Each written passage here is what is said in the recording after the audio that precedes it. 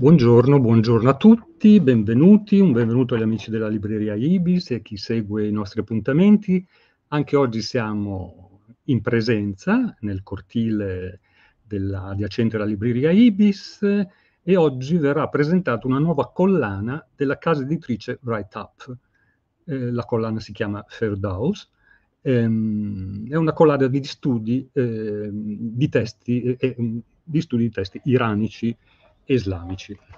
Leggo dalla presentazione dell'editore Ferdows, ehm, parola di origine antico-iranica, da cui deriva in più lingue paradiso. Rievoca primariamente un giardino cintato, separato dal deserto con la sua aridità e i suoi pericoli ricolmo di inebrianti fiori, fontane acque correnti. In secondo luogo richiama quell'eterna dimora primordiale a cui poeti e scrittori di tutti i tempi hanno aspirato, tra i quali anche il grande poeta persiano Hafez, ehm, Ferdows diventa nella cultura iranica e islamica una magnifica e pervasiva metafora del mondo della poesia e delle lettere, al punto che più opere persiane, turche e arabe si intitolano Il giardino, il roseto e simili. Questo nome, altamente evocativo, intende dunque essere di buon auspicio per una collana che vuole accogliere testi, anche in traduzioni, ricerche e saggi relativi a questa macro area culturale, dall'antichità sino all'epoca contemporanea. Abbiamo ospiti questa serata il direttore di questa collana e alcuni componenti del comitato scientifico, Buonasera, salve, grazie per essere intervenuti. Introdurrò eh, la direttrice, eh, la professoressa Nahid Norosi, eh, docente di lingua e letteratura persiana presso l'Università di Bologna. È membro del comitato scientifico di collane e riviste, tra cui i quaderni di Meikaneh, eh, rivista di studi iranici e rivista di studi indo-mediterranei. Collabora a progetti del Centro di ricerca Filologia Mediadistica Indo-Mediterranea. I suoi interessi scientifici riguardano principalmente l'etica e il romanzo persiano medievale e la trattatistica mistico-araba persiana. Si occupa inoltre di poesia sia come autrice sia come traduttrice dal persiano e dall'italiano. Si occupa anche di autori persiani contemporanei e medievali. Bene, Ehm, nel corso di questa, questa, serata verranno presentati appunto i due primi testi, eh, accanto alla professoressa eh, Naid Rosic c'è il professor Matteo Compareti che ehm, ha scritto From Sassanian Persia to the Tarim Basin. E questo sarà il primo volume che sarà presentato, dopodiché si alternerà il professor Francesco Zamboni e il suo testo è una, una traduzione di un'opera di Avicenna, Le indicazioni e gli avvertimenti. Bene, ringrazio ancora i relatori e gli ospiti che ci stanno, che ci stanno guardando. Ricordo che questa trasmissione, come le precedenti, rimarrà eh, registrata sul nostro canale YouTube e quindi non mi resta che lasciare la parola alla professoressa eh, Norozzi che ci introdurrà gli, autori e i titoli di questa nuova collana. Grazie ancora, a lei la parola. Grazie mille, dottor Pilati. Eh, innanzitutto buonasera a tutti e grazie per essere qui. Eh, dunque, sì, mh, ha detto, il professor eh, dottor Pilati ha detto l'essenziale sulla collana. Io a questo punto, cioè già il nome, no? collana di studi iranici e islamici, eh, dice tutto. Ecco, mi soffermo un attimino sulla, sul nome della collana, cioè Ferdos, che, che significa paradiso eh, in persiano, ma deriva dall'arabo eh, Firdaus, eh, è termine coranico eh, che Naturalmente poi questo, questo, termine entra anche eh, in diverse lingue no, dell'ecumene eh, islamica. Eh, però la cosa interessante di questa, di questa parola è che mh, l'origine, è, diciamo la radice eh, etimologica è eh, antico-iranica, cioè Paira Deisa, che tra l'altro entra anche nelle lingue eh, europee come paradiso, pa, no? paradise, eccetera, parea tramite ehm, l'antico greco. E così parallelamente entra anche in altre lingue eh, semitiche, quindi eh, in arabo e nel Corano. E poi quindi dal, da, dal Corano, diciamo, eh, entra poi nel, in persiano, eh, è un fenomeno eh, un po' curioso, no? che i linguisti chiamano prestito di ritorno, cioè che appunto questa parola di origine persiana entra in una, un'altra lingua e poi di nuovo rientra nella, nella lingua, diciamo così, originaria.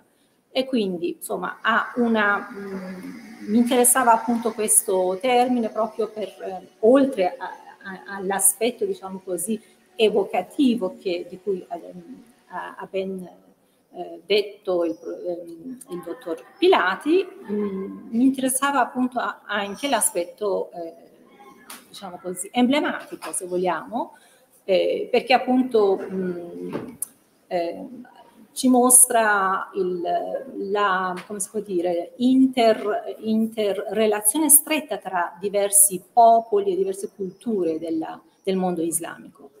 E quindi mh, mm, potrebbe appunto, appunto present, come si può dire, eh, dare un'idea no? anche eh, degli studi comparativi che la collana auspica di ospitare, no? ecco, eh, studi comparativi eh, sia all'interno del mondo islamico sia anche all'esterno.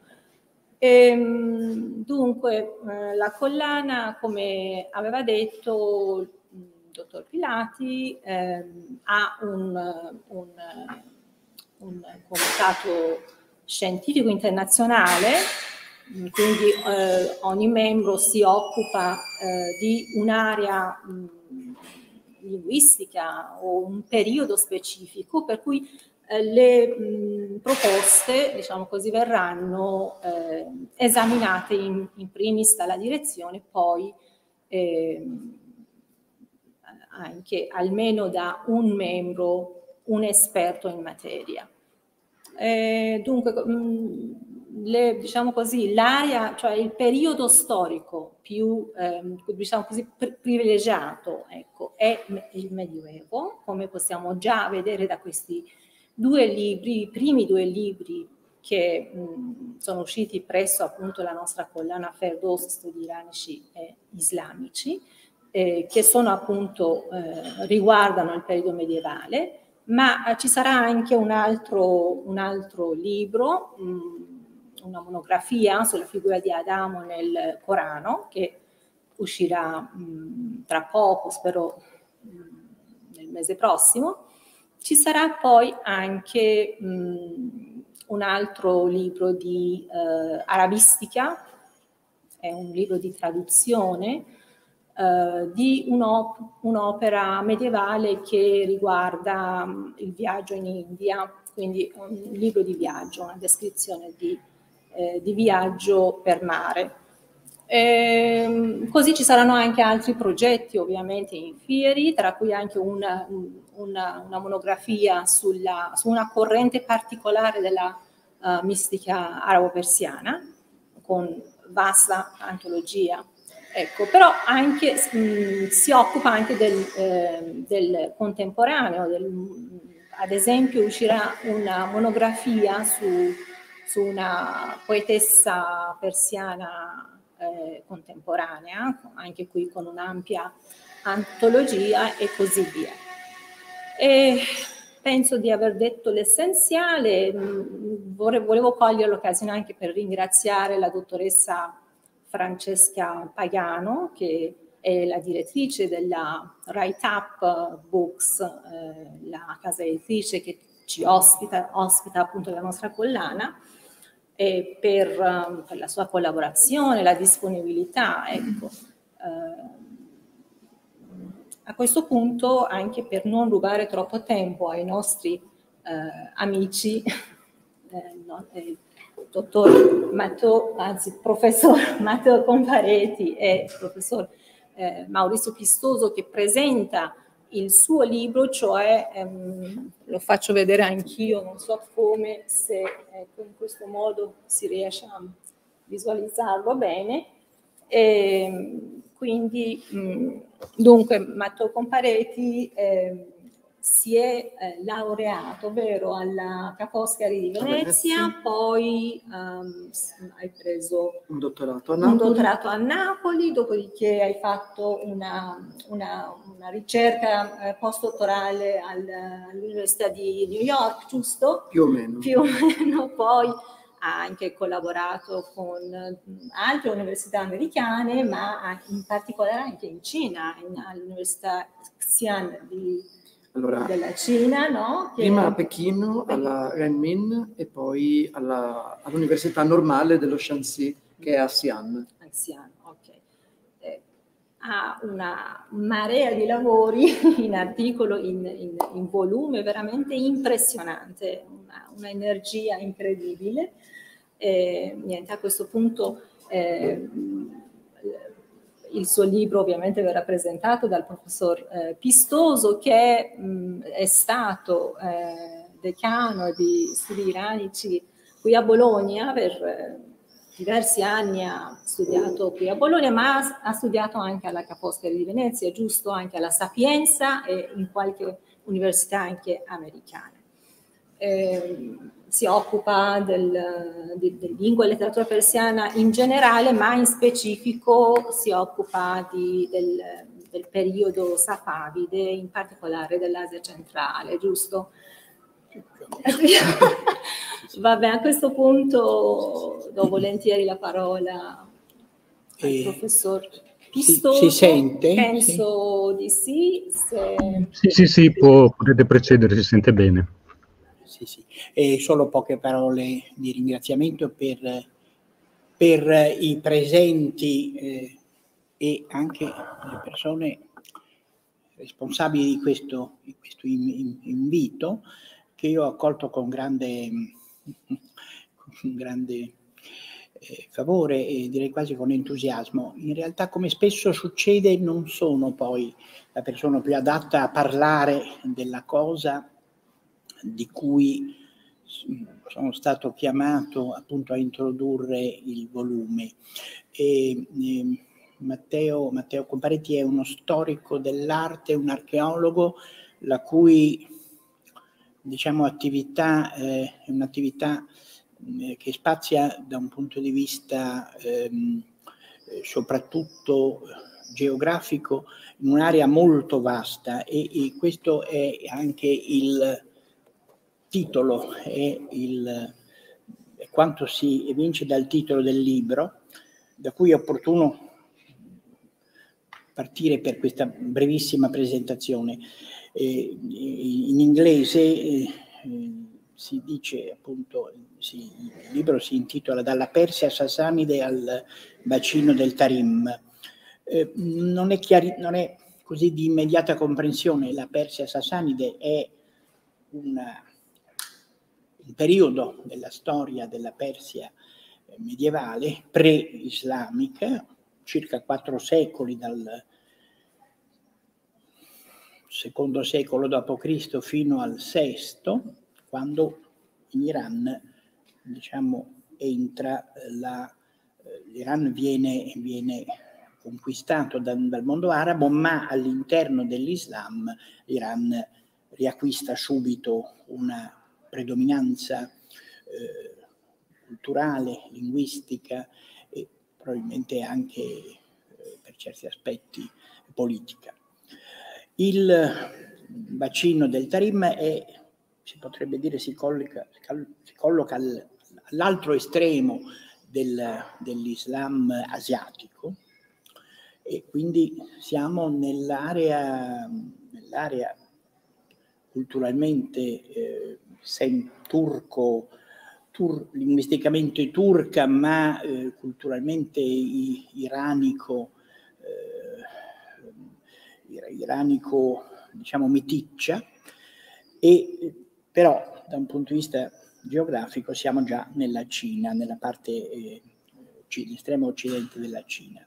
Tutto questo eh, viene trattato da, da Matteo in questo libro eh, con una ottica particolare, cioè il libro è proprio una, si potrebbe dire, una rassegna di elementi soprattutto, non solo, ma soprattutto iconografici, quindi soprattutto legati alla, agli aspetti di, di, arte e di eh, diciamo, reperti archeologici, che testimoniano un viaggio, potremmo così definirlo, un, un viaggio, una serie di eh, elementi che appunto partendo da dall'Occidente, quindi dal mondo iranico sasanide, il medioevo, il medioevo persiano, che è un po' più, un po', un po più precoce rispetto al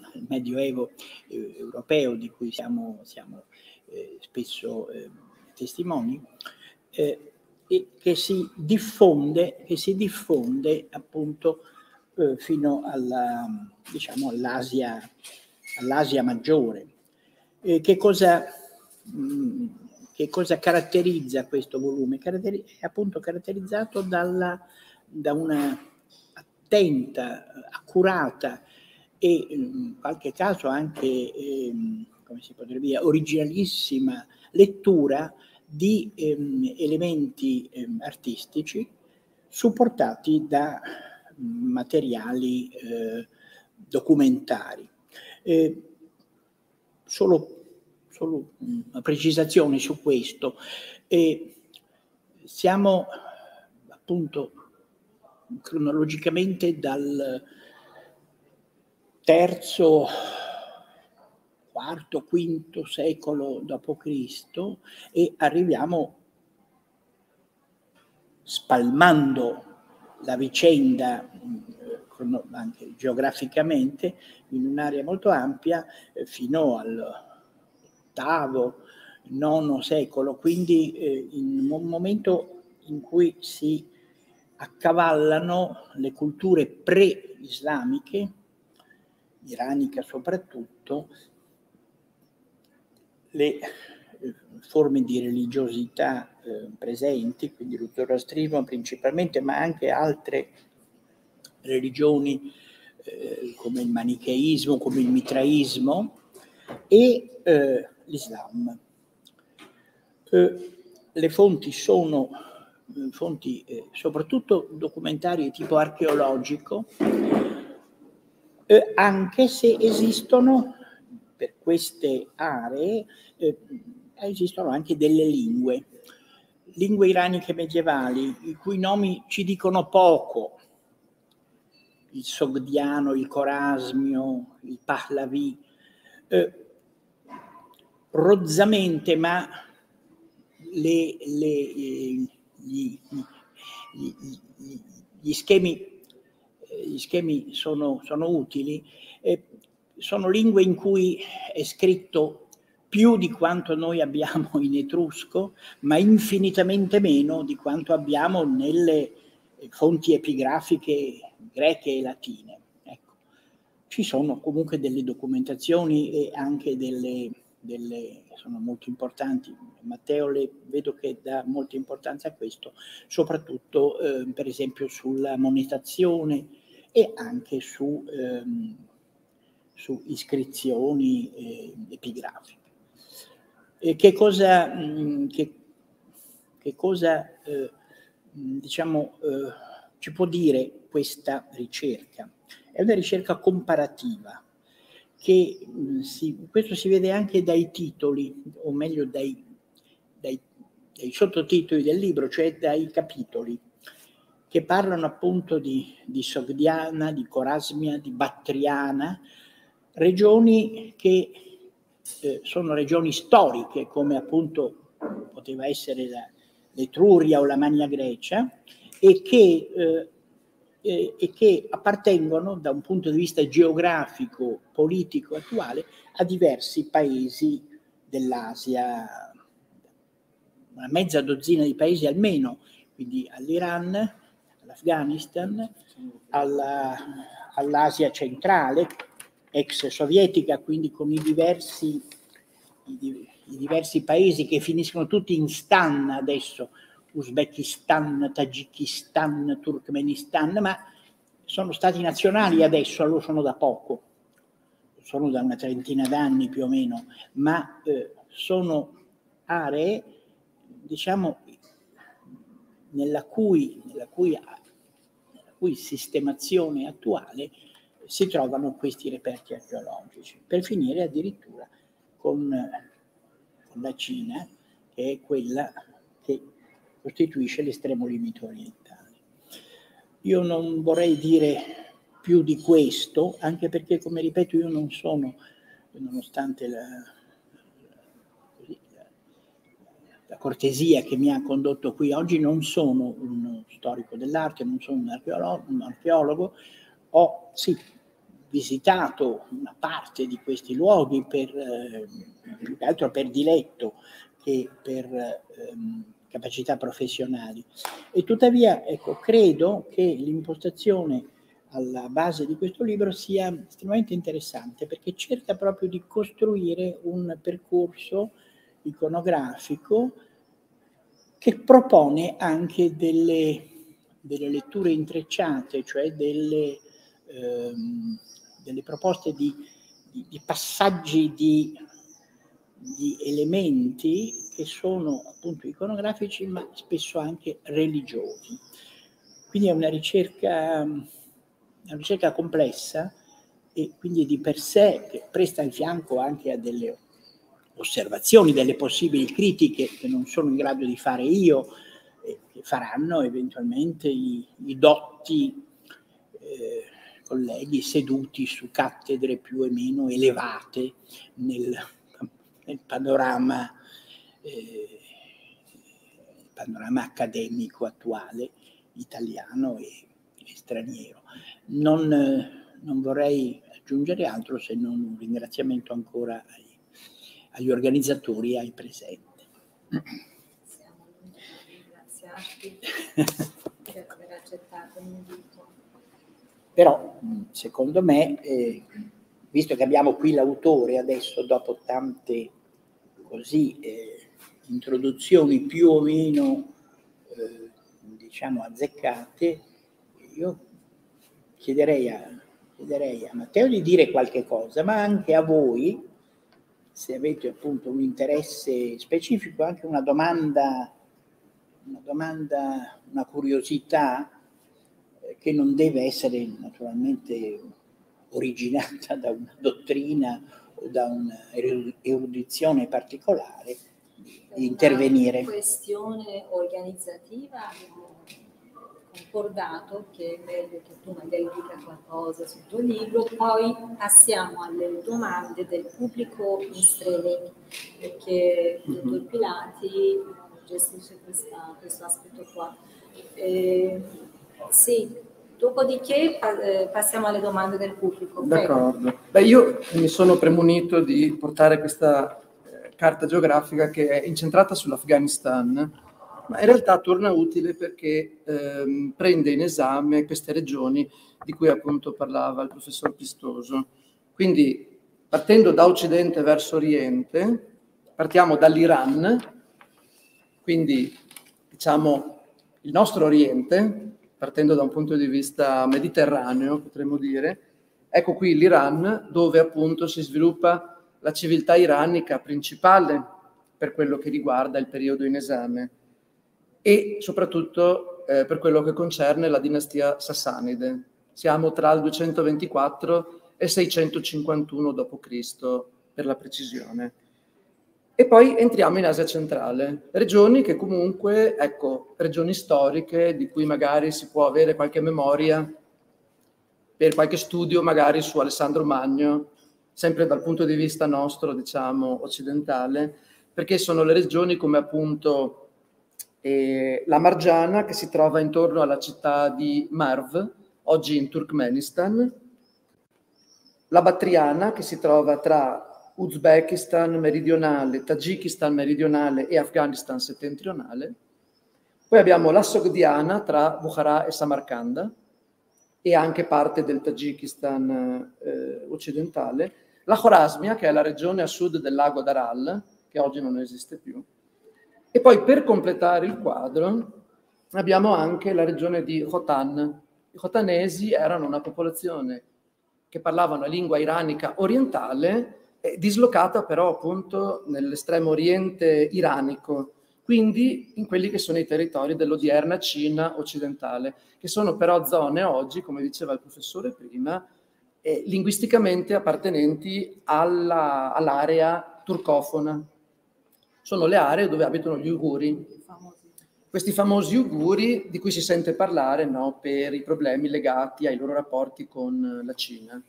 Quindi popolazione turca, chiaramente islamica, eh, sunniti per lo più, però con qualche eh, macchia ismailita e quindi sciita qua e là. E eh, tra l'altro una curiosità, gli uiguri sono l'unica popolazione che ancora utilizza l'alfabeto arabo per scrivere la propria lingua, Alfa- ehm, vocalizzata tra l'altro, che questa è una cosa abbastanza utile per chi non conosce il turco per esempio, ma riesce a leggere senza problemi semplicemente imparandosi l'alfabeto.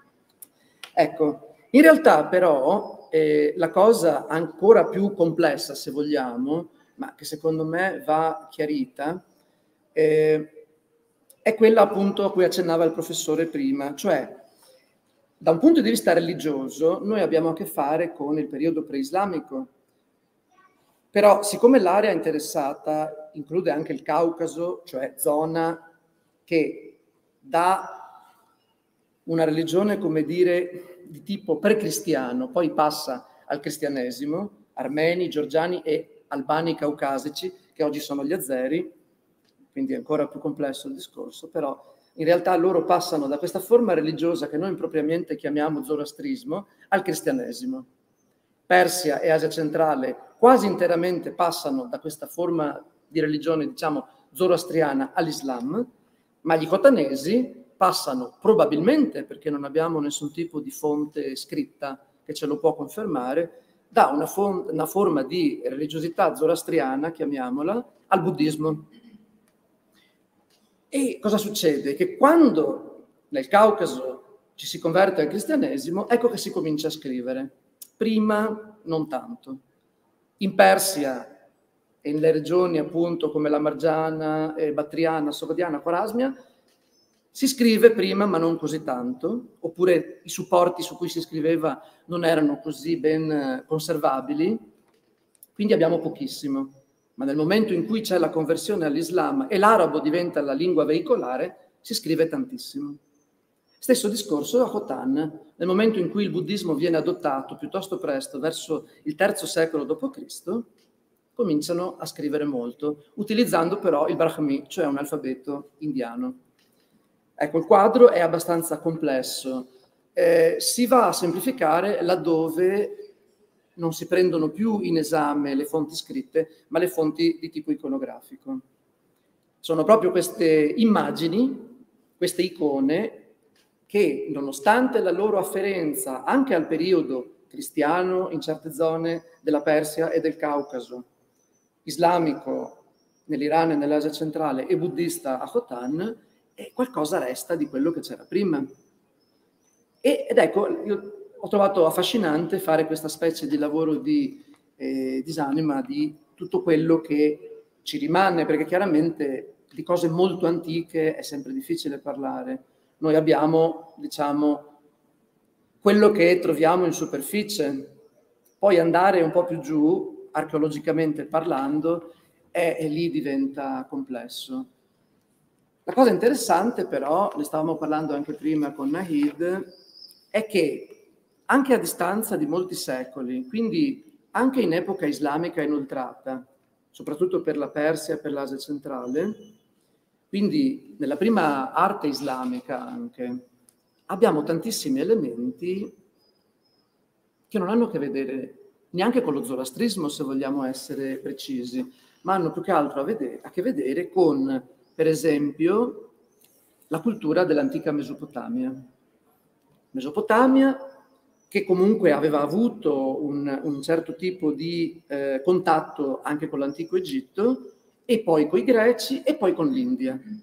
Mi riferisco in particolare agli elementi astronomici e astrologici, la cui differenziazione all'epoca non esisteva, cioè sostanzialmente si calcolavano i moti degli astri per determinarne be- meglio l'influenza su quella che era la vita quotidiana delle persone. Ora cosa succede? Come ben sappiamo, dopo l'arrivo dei mongoli, quindi siamo già nel XIII-XIV secolo, nel mondo islamico e in particolare in Persia c'è un'esplosione di interesse per quella che è l'astrologia e astronomia e abbiamo un sacco di testi illustrati. Questi testi illustrati molto spesso ci presentano le personificazioni dei pianeti, le stagioni, i lavori caratteristici di queste stagioni, che sono cose che abbiamo anche noi nel mondo occidentale. E ci sono degli scambi impressionanti tra mondo occidentale e mondo orientale in questo periodo, quindi in epoca islamica inoltrata, quindi per noi medioevo, diciamo, ormai completamente cristiano.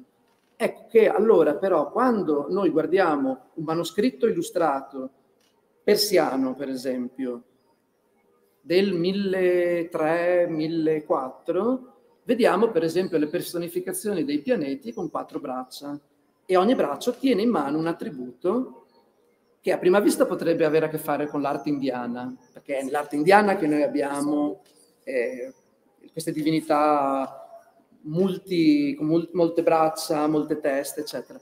Ma poi se andiamo a guardare bene, ci sono cose che hanno a che fare addirittura con la cultura mesopotamica. E la cosa interessante è vedere come eh, fino al IX secolo d.C., quindi fino all'arrivo dei Samanidi in Asia centrale, una dinastia iranica con capitale, capitale tra virgolette, a Bukhara, quindi una, una delle varie città della Sogdiana storica, viene lanciata una sorta di crociata per islamizzare queste popolazioni che non erano ben viste da quel sovrano, eh, non dall'Islam, l'Islam non ha mai avuto grossi problemi di convivenza, però ogni tanto qualche figura di spicco, ecco che partiva e diceva no, li voglio uniformare tutti al mio volere perché li voglio controllare meglio, oppure voglio mettermi in bella mostra davanti al califfo che investava a Baghdad, no?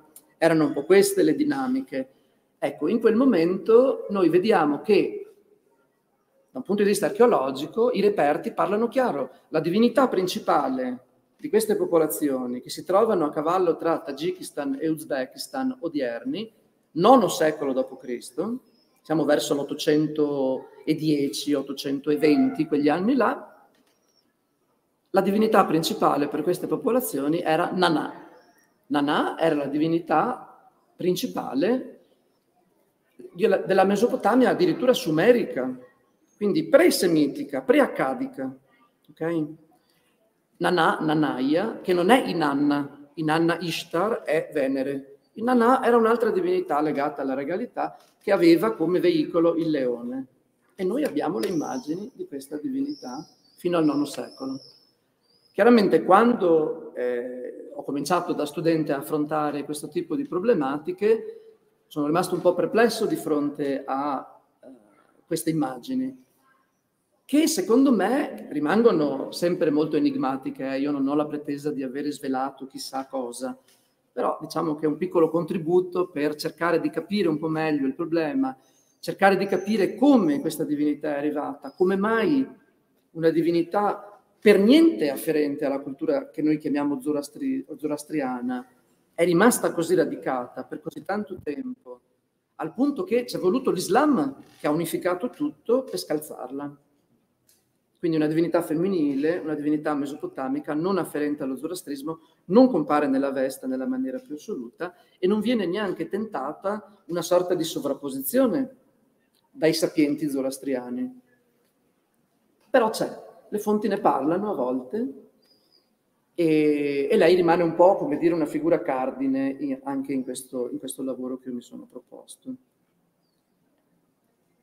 Cioè compare anche nelle fonti scritte. Quindi. Compare nelle fonti scritte eh, perché, come dicevo prima, eh, nel momento in cui gli armeni si convertono al cristianesimo, dopo un po' inventano un alfabeto per tradurre la Bibbia e scrivono, un po' come facevano i monaci irlandesi, no?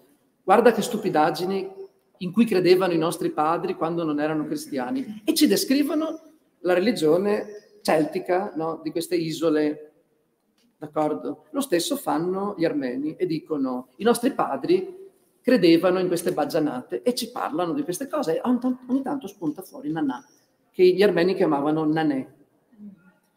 Spunta fuori anche in qualche fonte islamica, salta fuori anche, ehm, ecco, come diceva prima il professore, la numismatica rimane un'importantissima fonte eh, per l'epigrafia, ecco, perché noi abbiamo proprio i nomi a volte di alcune divinità, perché alcune città come Penjikent, eh, in Tagikistan oggi, ma una città sogdiana importantissima, la Pompei d'Asia centrale, come la chiamava il grandissimo archeologo Marshak, che ha scavato lì per una vita, e era la città eh, la cui signora era Nanà. Nanà, c'è scritto proprio sulle monete, Nanà, la signora di Penjikent. E poi queste cose in qualche modo tornano fino in Cina, fino al X secolo almeno in Cina, o qualche secolo in più. Sì, sì, sì. Se... Prego. Chiederei, chiederei, chiederei alla, alla, professoressa eh, Norozzi se ha la gentilezza di ripetere la domanda del pubblico in modo che anche gli ascoltatori online possono se, sentire di che cosa sta parlando. Grazie, eh, grazie per la gentilezza. Se, se vuoi anche vieni, vieni, più vicino, magari, ecco, forse si sente. La mia domanda riguardava questa figura di Nana Onanè che dicevi prima, se ho ben inteso, che viene rappresentata da, dalla figura di un leone, un sì. maschio, femmina, non lo so. Ma ecco, volevo capire, ehm, anche una, una, corrispondenza astrale? Cioè, non so, la Luna, il Sole, qualcosa del genere, un sì. pianeta?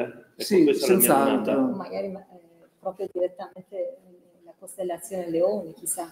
Allora, esistono studi eh, di qualche esperto che ha provato a inquadrarlo da questo punto di vista. E Nanà, quando compare nell'arte mesopotamica, eh, è una donna che in genere eh, può essere raffigurata da un leone oppure ha un leone nelle vicinanze. Ci può appoggiare un piede sopra, ci sta seduta in trono, ma il trono poggia sul leone, oppure eh, ci sta seduta direttamente. Quando però noi abbiamo lo sviluppo di questo tipo di iconografia durante i secoli, chiaramente noi abbiamo grossi, eh, delle grosse lacune di tipo eh, cronologico e anche di tipo geografico. Cosa succede? Che a partire dal VI secolo d.C. circa, in India succede qualcosa. E prima del VI secolo in India la, l'iconografia delle divinità che noi chiamiamo indù, cioè delle divinità vediche, chiamiamole a quell'epoca, non era ancora ben determinata. Okay? Dal VI secolo in poi abbiamo Shiva raffigurato in un certo modo, Vishnu in un altro, Brahma in un altro. Per cui c'è questa specie di esplosione iconografica che va ad investire un po' tutto il mondo centroasiatico, soprattutto la Batriana, che comunque era già buddizzata, quindi molto propensa, molto aperta verso gli elementi indiani, e poi abbiamo la Sogdiana dove il buddismo non ha mai attecchito veramente. I Sogdiani erano buddisti, ma nelle colonie all'estero, soprattutto in Cina. Lo sappiamo dalle fonti scritte in Sogdiano trovate dagli archeologi. Invece, in Sogdiana L'iconografia, l'arte, ha a che fare con, chiamiamola, la forma locale di zoroastrismo. Però nell'arte sogdiana, almeno a partire dal VI secolo, le divinità hanno quattro braccia. E Nanà si trova seduta sul leone, che è il suo simbolo, il suo animale, diciamo, simbolico, ma è anche il suo veicolo alla maniera indiana. Quindi gli storici dell'arte chiamano il leone di Nanà Vahana, che in sanscrito vuol dire veicolo. Le due mani in alto sorreggono Sole e Luna e il Sole sta sempre sopra la testa del leone. Quindi l'elemento astrologico, astronomico è chiarissimo. Il marito di Nanà in Mesopotamia è Nabu. Nabu è il patrono degli scribi, che corrisponde all'egizio Tot, che sappiamo corrispondere al greco Hermes, Hermes Trismegisto, Ermete Trismegisto, con tutta una serie di combinazioni, insomma. E tra l'altro Hermes, Ermafrodita, è una divinità dalla sessualità molto ambigua, che ha poi a che fare anche con, per esempio, i Nabatei e altre popolazioni dell'Arabia settentrionale, che erano comunque in contatto con i greci. Ora cosa succede? Quando Nanà con quattro braccia viene raffigurata con il marito con quattro braccia in Asia centrale, questo marito ha a che fare con Nabu e molto spesso è raffigurato come una donna, quindi sbarbato e con i capelli lunghi. Anche questo ha creato una serie di ambiguità, ma si sta piano piano. E naturalmente Nabu è Mercurio, quindi è il pianeta, è Tir, Tishtria, Tishtria, Tir, i, i cui rapporti non sono ben chiari, ma siamo lì. Il segretario, il segretario esatto di Giove. Infatti le fonti armene ci dicono Tir è l'interprete dei sogni di Ormazd, che è Aura Mazda, la divinità principale del Pantheon caucasico, quindi in questo caso armeno, pre-cristiano. Complesso, molto complesso. Se, eh, non so se eh, in streaming c'è qualcuno che ha scritto qualcosa. No, al momento, al momento non ci sono domande dai pubblico online. Sì, prego, certo. Ehm, eh, chiedo scusa della mia ignoranza sul tema. Eh, si è parlato di fonti islamiche, di preciso eh, di cosa stiamo parlando? Stiamo parlando di, eh, di storici, stiamo parlando di eresiografi? No, stiamo eh. parlando principalmente di eh, trattati di astrologia, astronomia, soprattutto per quello che mi concerne, illustrati. Mm-hmm. Però l'importanza di questi testi è che l'immagine è accompagnata da qualche volta addirittura non solo da un testo, ma da una didascalia molto spesso. Sì. Però stiamo parlando di cose che si vanno a collocare cronologicamente circa 500 anni dopo le immagini a cui io mi riferisco in questa pubblicazione. Quindi va tutto preso sì. con la dovuta cautela. Ecco, allora aggiungiamo alla domanda un altro, un'altra considerazione, magari che non so in realtà eh, quanto ci si possa, diciamo, eh, quanto se possa trarre, ma eh, mi è interessato il riferimento appunto a, all'idea delle fonti islamiche perché in realtà per quanto mi riguardava come studioso di, di Kalam e di eh, eresiografia islamica, in realtà gli autori di Kalam tendono ad avere una, una comprensione assolutamente libresca e non, eh, non informata di quello, che, quello, che, avveniva solo magari poche centinaia di anni prima nel luogo dove vivevano. Mm. Cioè, senso, per esempio, Chakrastani scrive nel XII secolo, ma eh, la sua opera è semplicemente una collazione di, eh, di, elementi, di elementi, di opere precedenti che ne, che ne trae tutte eh, le... Um,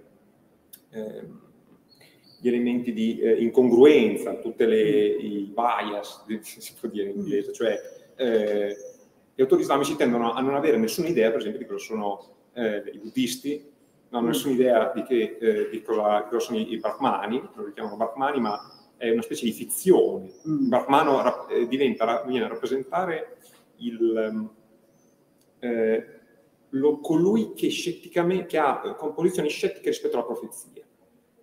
No, quindi ecco, mm, la, la, la, cosa di riferimento alle fonti islamiche mi aveva interessato nel, nel, senso che sembra che gli autori diciamo, più importanti per quanto riguarda la, l'alta, altissima cultura islamica invece non hanno nessuna idea di, eh, di, tutti questi elementi che erano molto vicini a loro, perché si parla di autori che vivono nel Khorasan, mm-hmm non, non, so se la considerazione può avere un qualche interesse. No, no, è sicuramente interessante anche perché io non è che sono un esperto di queste cose, quindi mi fa piacere che sia, cioè capita a puntino, diciamo, questa osservazione.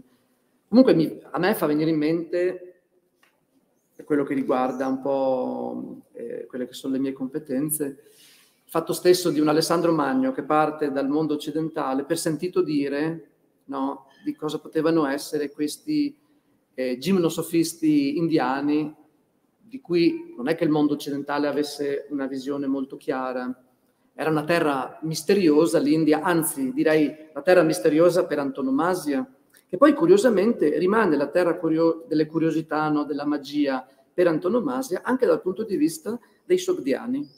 Ecco, conosciamo questa cosa, nonostante, come diceva il professore, non abbiamo granché di fonti scritte, però laddove noi abbiamo elementi indiani nell'arte sogdiana pre-islamica, sono tutti elementi che hanno a che fare con il mistero, l'esotico per eccellenza, quindi se vogliamo raffigurare per esempio, eh, che ne so, il vecchio saggio, è un bramino nudo con un perizoma e i capelli raccolti proprio alla maniera indiana. Una scelta quasi, perché sono sempre molto magri, eh, hanno una certa età, quindi... Ed era un po' come dire il modo eh, del pregiudizio di vedere l'altro. E se vogliamo poi, addirittura ci sono i cinesi, perché la maggior parte delle fonti scritte per ricostruire la storia, non tanto la religione di queste zone, ci viene dai cinesi che lungo la cosiddetta via della seta eh, colloquiavano con, questo, con queste personalità, li utilizzavano spesso come interpreti e quindi eh, ci dicono una serie di cose e anche per i cinesi l'esotico, l'esotico per eccellenza, soprattutto per una certa epoca, era il mago persiano, di cui loro avevano conoscenza diretta, perché noi sappiamo dove vivevano addirittura i persiani nella capitale cinese dell'epoca. Noi sappiamo dove era il quartiere del mercato occidentale, no? Che voleva dire persiano e sogdiano sostanzialmente. Però poi nei loro racconti, quando dovevano parlare del cattivo in genere, era il mago, il mago inteso sia come prete zoroastriano, sia come, eh, come si può dire, la persona che aveva una padronanza delle arti magiche e che riusciva a combinare guai incantando o eh, preparando intrugli vari. Ecco, non so se può essere collegabile il discorso. No, è interessante fatto che cioè, è sempre colpito come la, all'esistenza di scambi commerciali e di tutti, di tutti gli aspetti non corrisponde sempre mm. scambi della stessa intensità a livello culturale alto, cioè mm-hmm. scambi, eh, l'Islam a un certo punto non, non, è capace di produrre scambi culturali a, a alto livello della teologia e della filosofia di identico valore rispetto a quelli fatti con la Grecia, rispetto alla, all'India al, e alla Cina, diciamo. E non potrebbe essere un discorso legato anche alla trasmissione dei testi?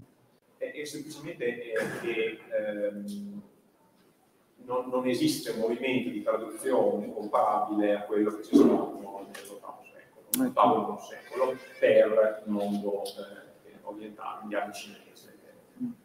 Bisogna aspettare cioè, il XVI secolo, quindi nonostante i musulmani siano cioè, armi in pugno, eh, conquistando eh, mani militari, una parte enorme della, di quei territori, la permeabilità a livello culturale, diciamo, ad alto livello culturale non c'è, che è una cosa abbastanza impressionante. Mm. Quindi è come una specie di sentito dire che sì, loro... Sono, sono, dei, sono dei fantocci, mm. cioè, i brahmani sono dei fantocci, sono, dei, eh, sono, lì per rappresentare una posizione che è totalmente ideale un, e che non corrisponde assolutamente in, nessun senso a Brahman storico. Mm, interessante, grazie. Mm, più che una domanda, una, una semplice considerazione che però può anche finire con un quesito.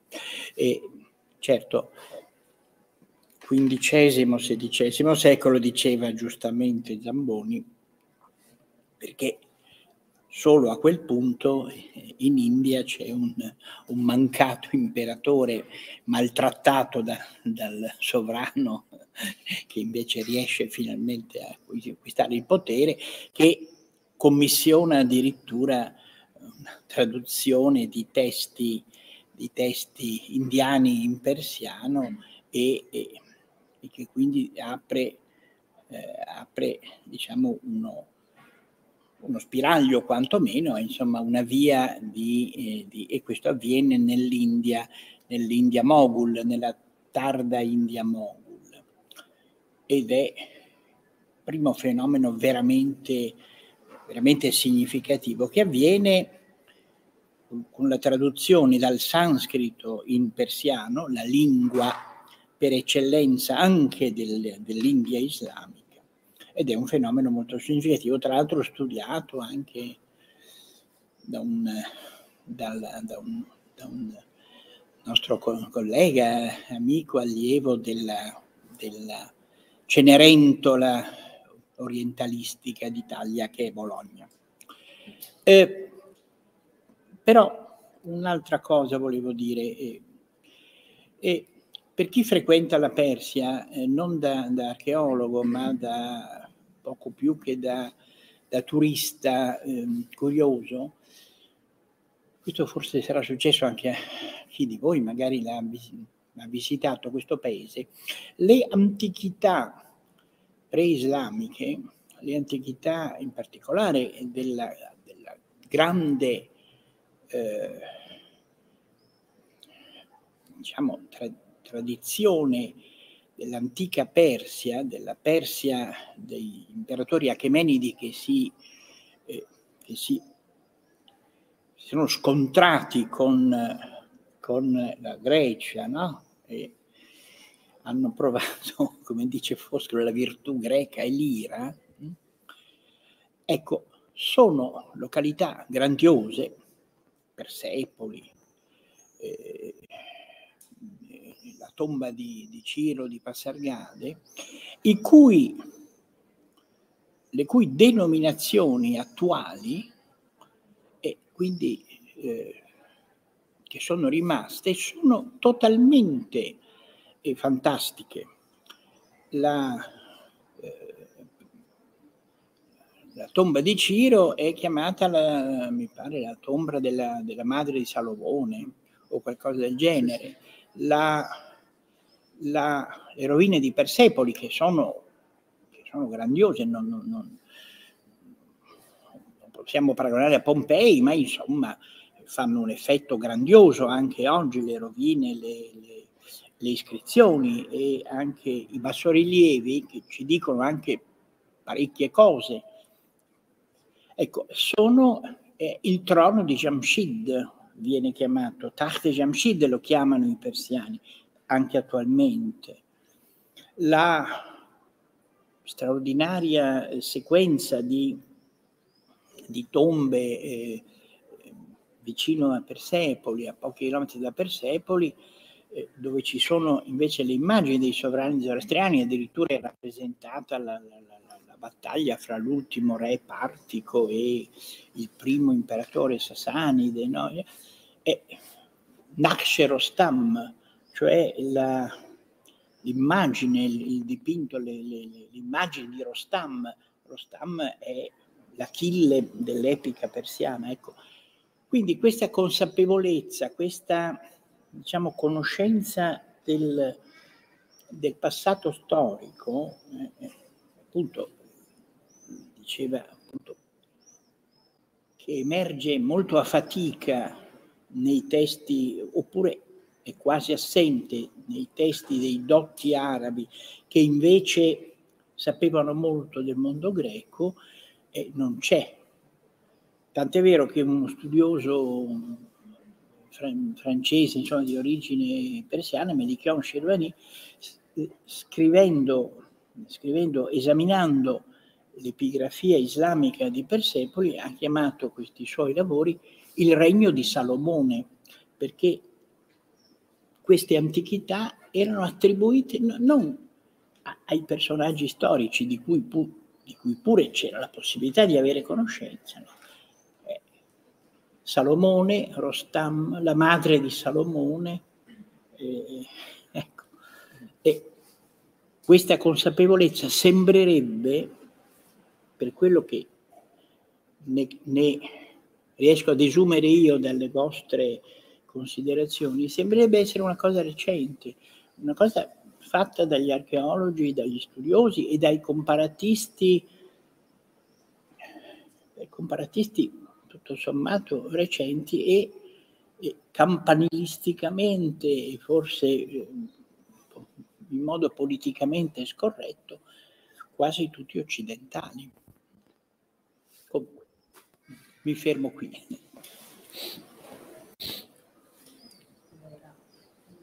Sono altre domande, curiosità, osservazioni? A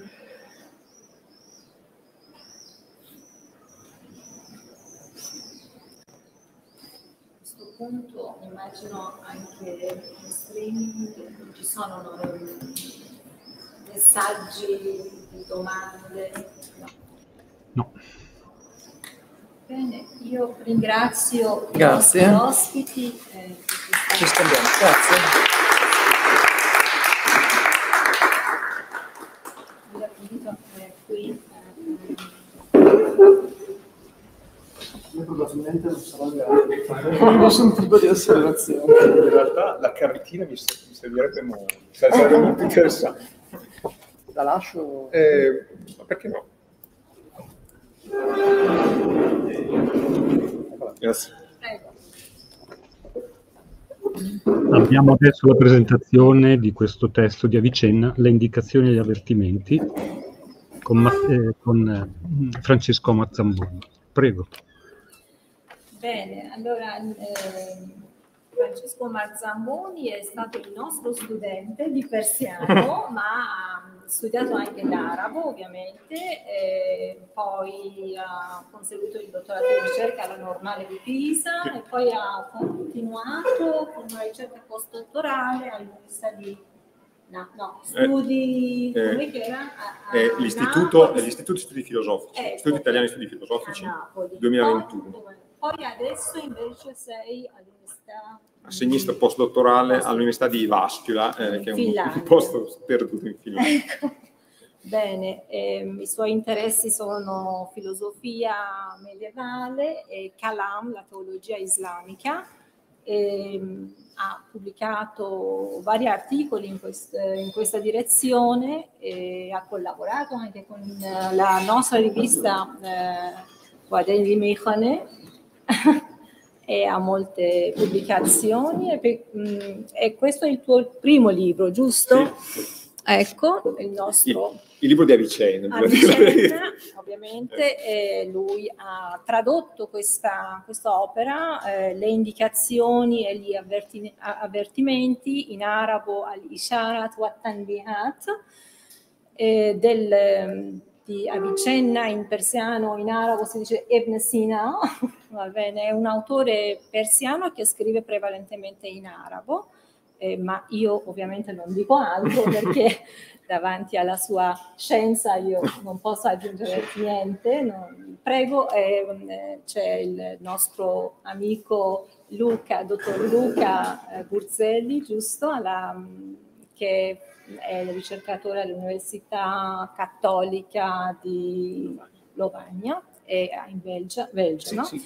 Ecco, quindi mh, ti occupi di filosofia rinascimentale, ecco, quindi benvenuto Grazie. e grazie per aver accettato il nostro invito che presenta appunto questo bel libro. Non so se si, si vede. Ecco. A lei la parola, prego. Grazie mille, grazie per avermi invitato. Io sono particolarmente felice di, eh, di presentare il libro di Francesco perché beh, intanto eravamo compagni di banco a Pisa, eh, praticamente a fianco al tavolo uno a fianco all'altro, quindi eh, da, da sei anni lavoriamo insieme e ci confrontiamo su, su- su molte cose delle nostre ricerche. E, e ricordo quando mi disse che iniziava a lavorare su questo libro, eh, di cui avevo potuto anche vedere, diciamo, in anteprima, mentre stava traducendo, alcune difficoltà testuali nella parte logica, eh, e ora sono felice di vederlo stampato e di poterlo presentare.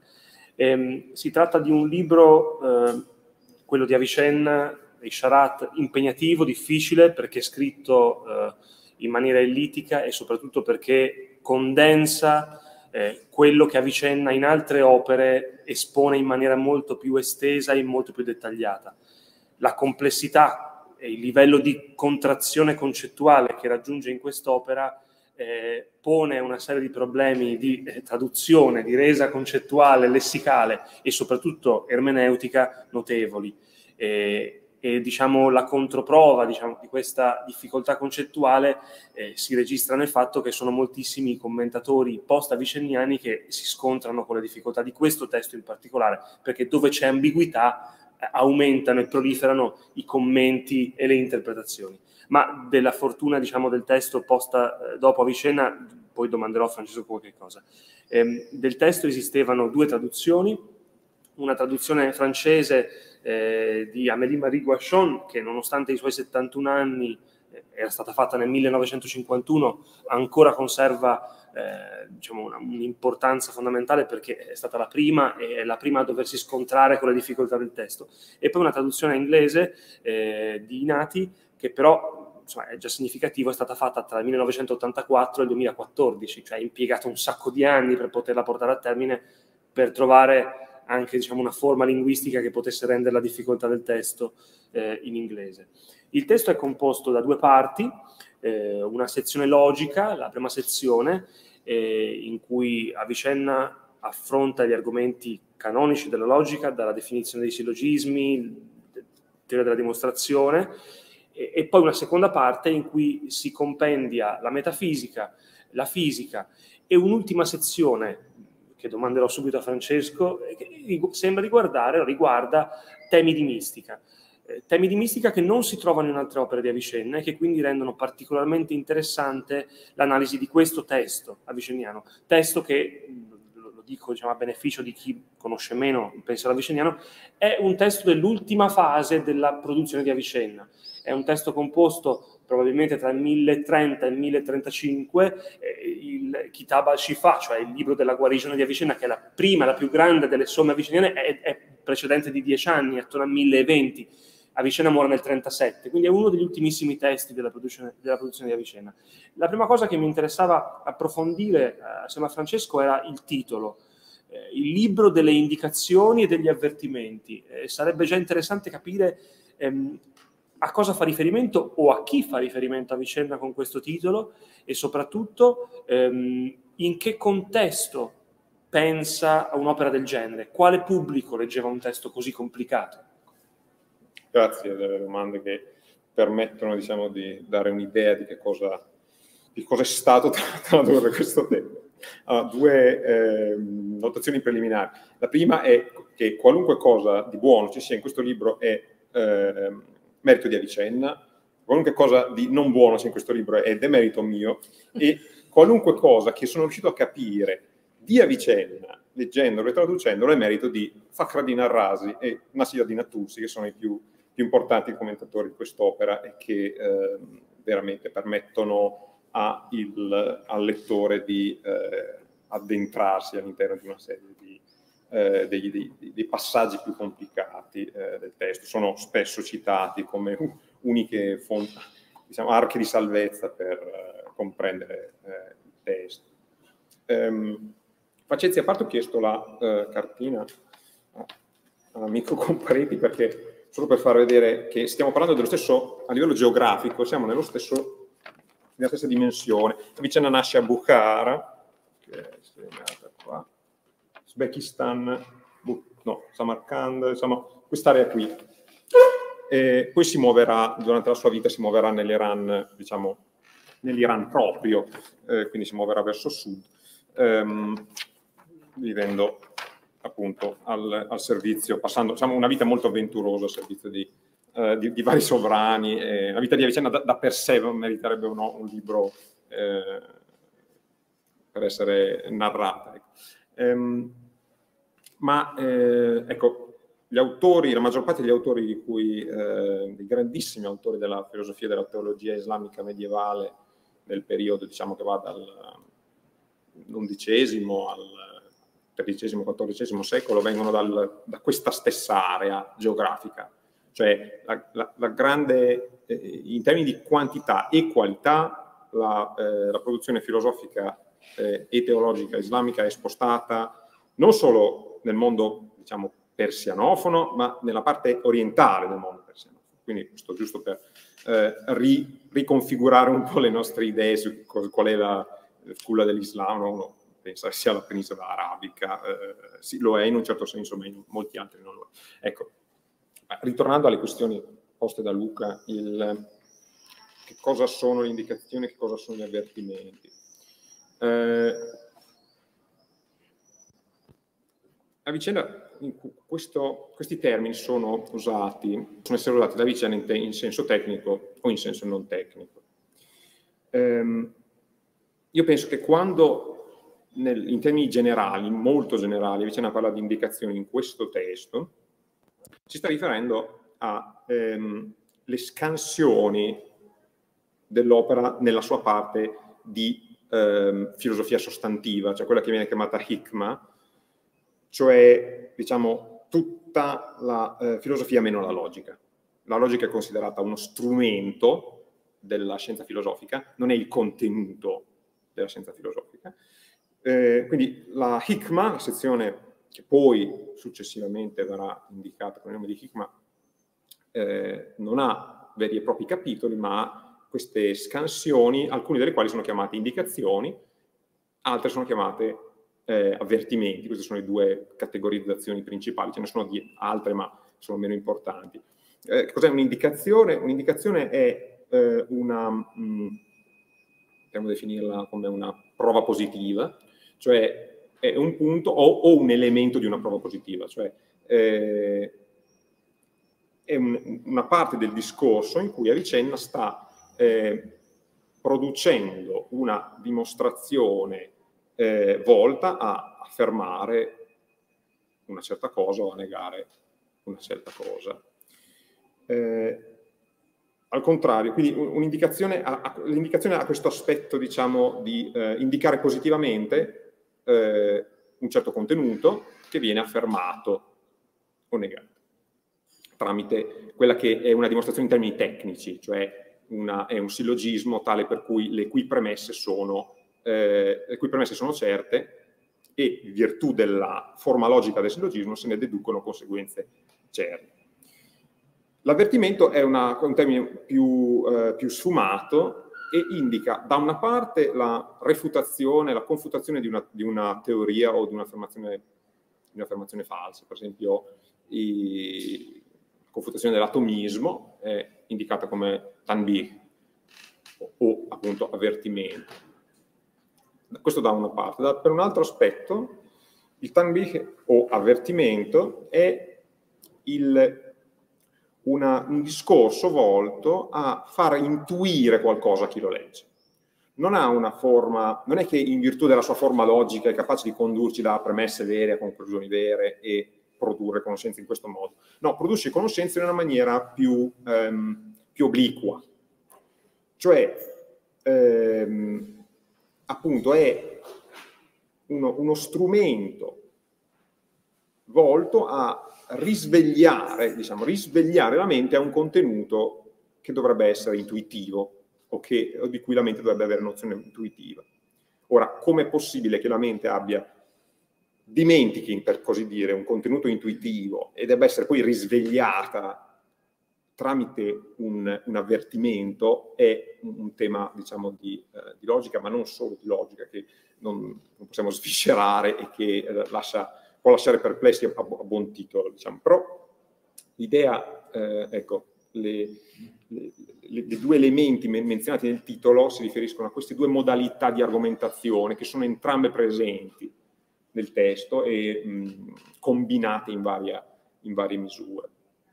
Quanto riguarda la, eh, la, la, la fortuna del, del, diciamo, postuma e i quali autori posso, potevano fruire di questo, questo testo.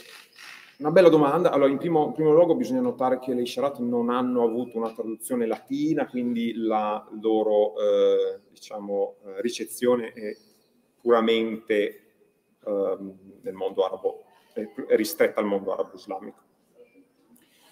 Il secondo titolo, um, questa è chiaramente un'opera che Avicenna scrive per il suo circolo, per coloro che hanno diciamo, una nozione, eh, che hanno particolari eh, competenze e um, una certa serie di eh,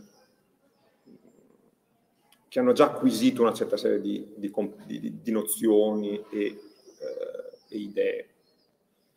Eh, Avicena fa, fa, persino un elenco delle, delle caratteristiche proprie di, uh, di chi dovrebbe potersi avvicinare alla lettura di quest'opera. Eh, se uno dovesse seguire questi, diciamo, i, i, criteri di Avicenna, nessuno potrebbe leggere quest'opera.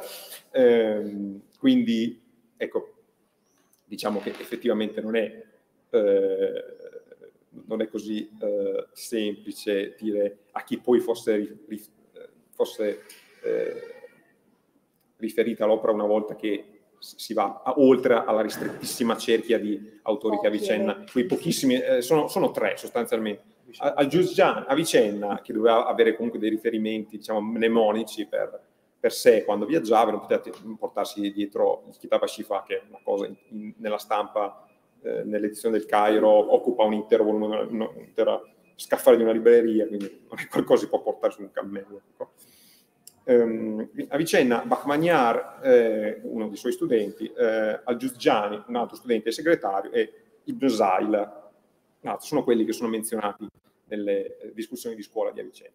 E, fatto sta che nonostante eh, la, diciamo, la grande ehm, ironia di tutto ciò è che nonostante il testo fosse stato scritto probabilmente per una, una cerchia ristrettissima e Avicenna sia esplicito nel dire che sostanzialmente nessuno dovrebbe leggere quest'opera, perché ehm, ci sono tutta una serie di problemi che possono emergere dal, dal fatto, dal, dalla sua densità proprio e dal fatto che se uno non ha idea di cosa sta leggendo può cadere in una enormità di problemi.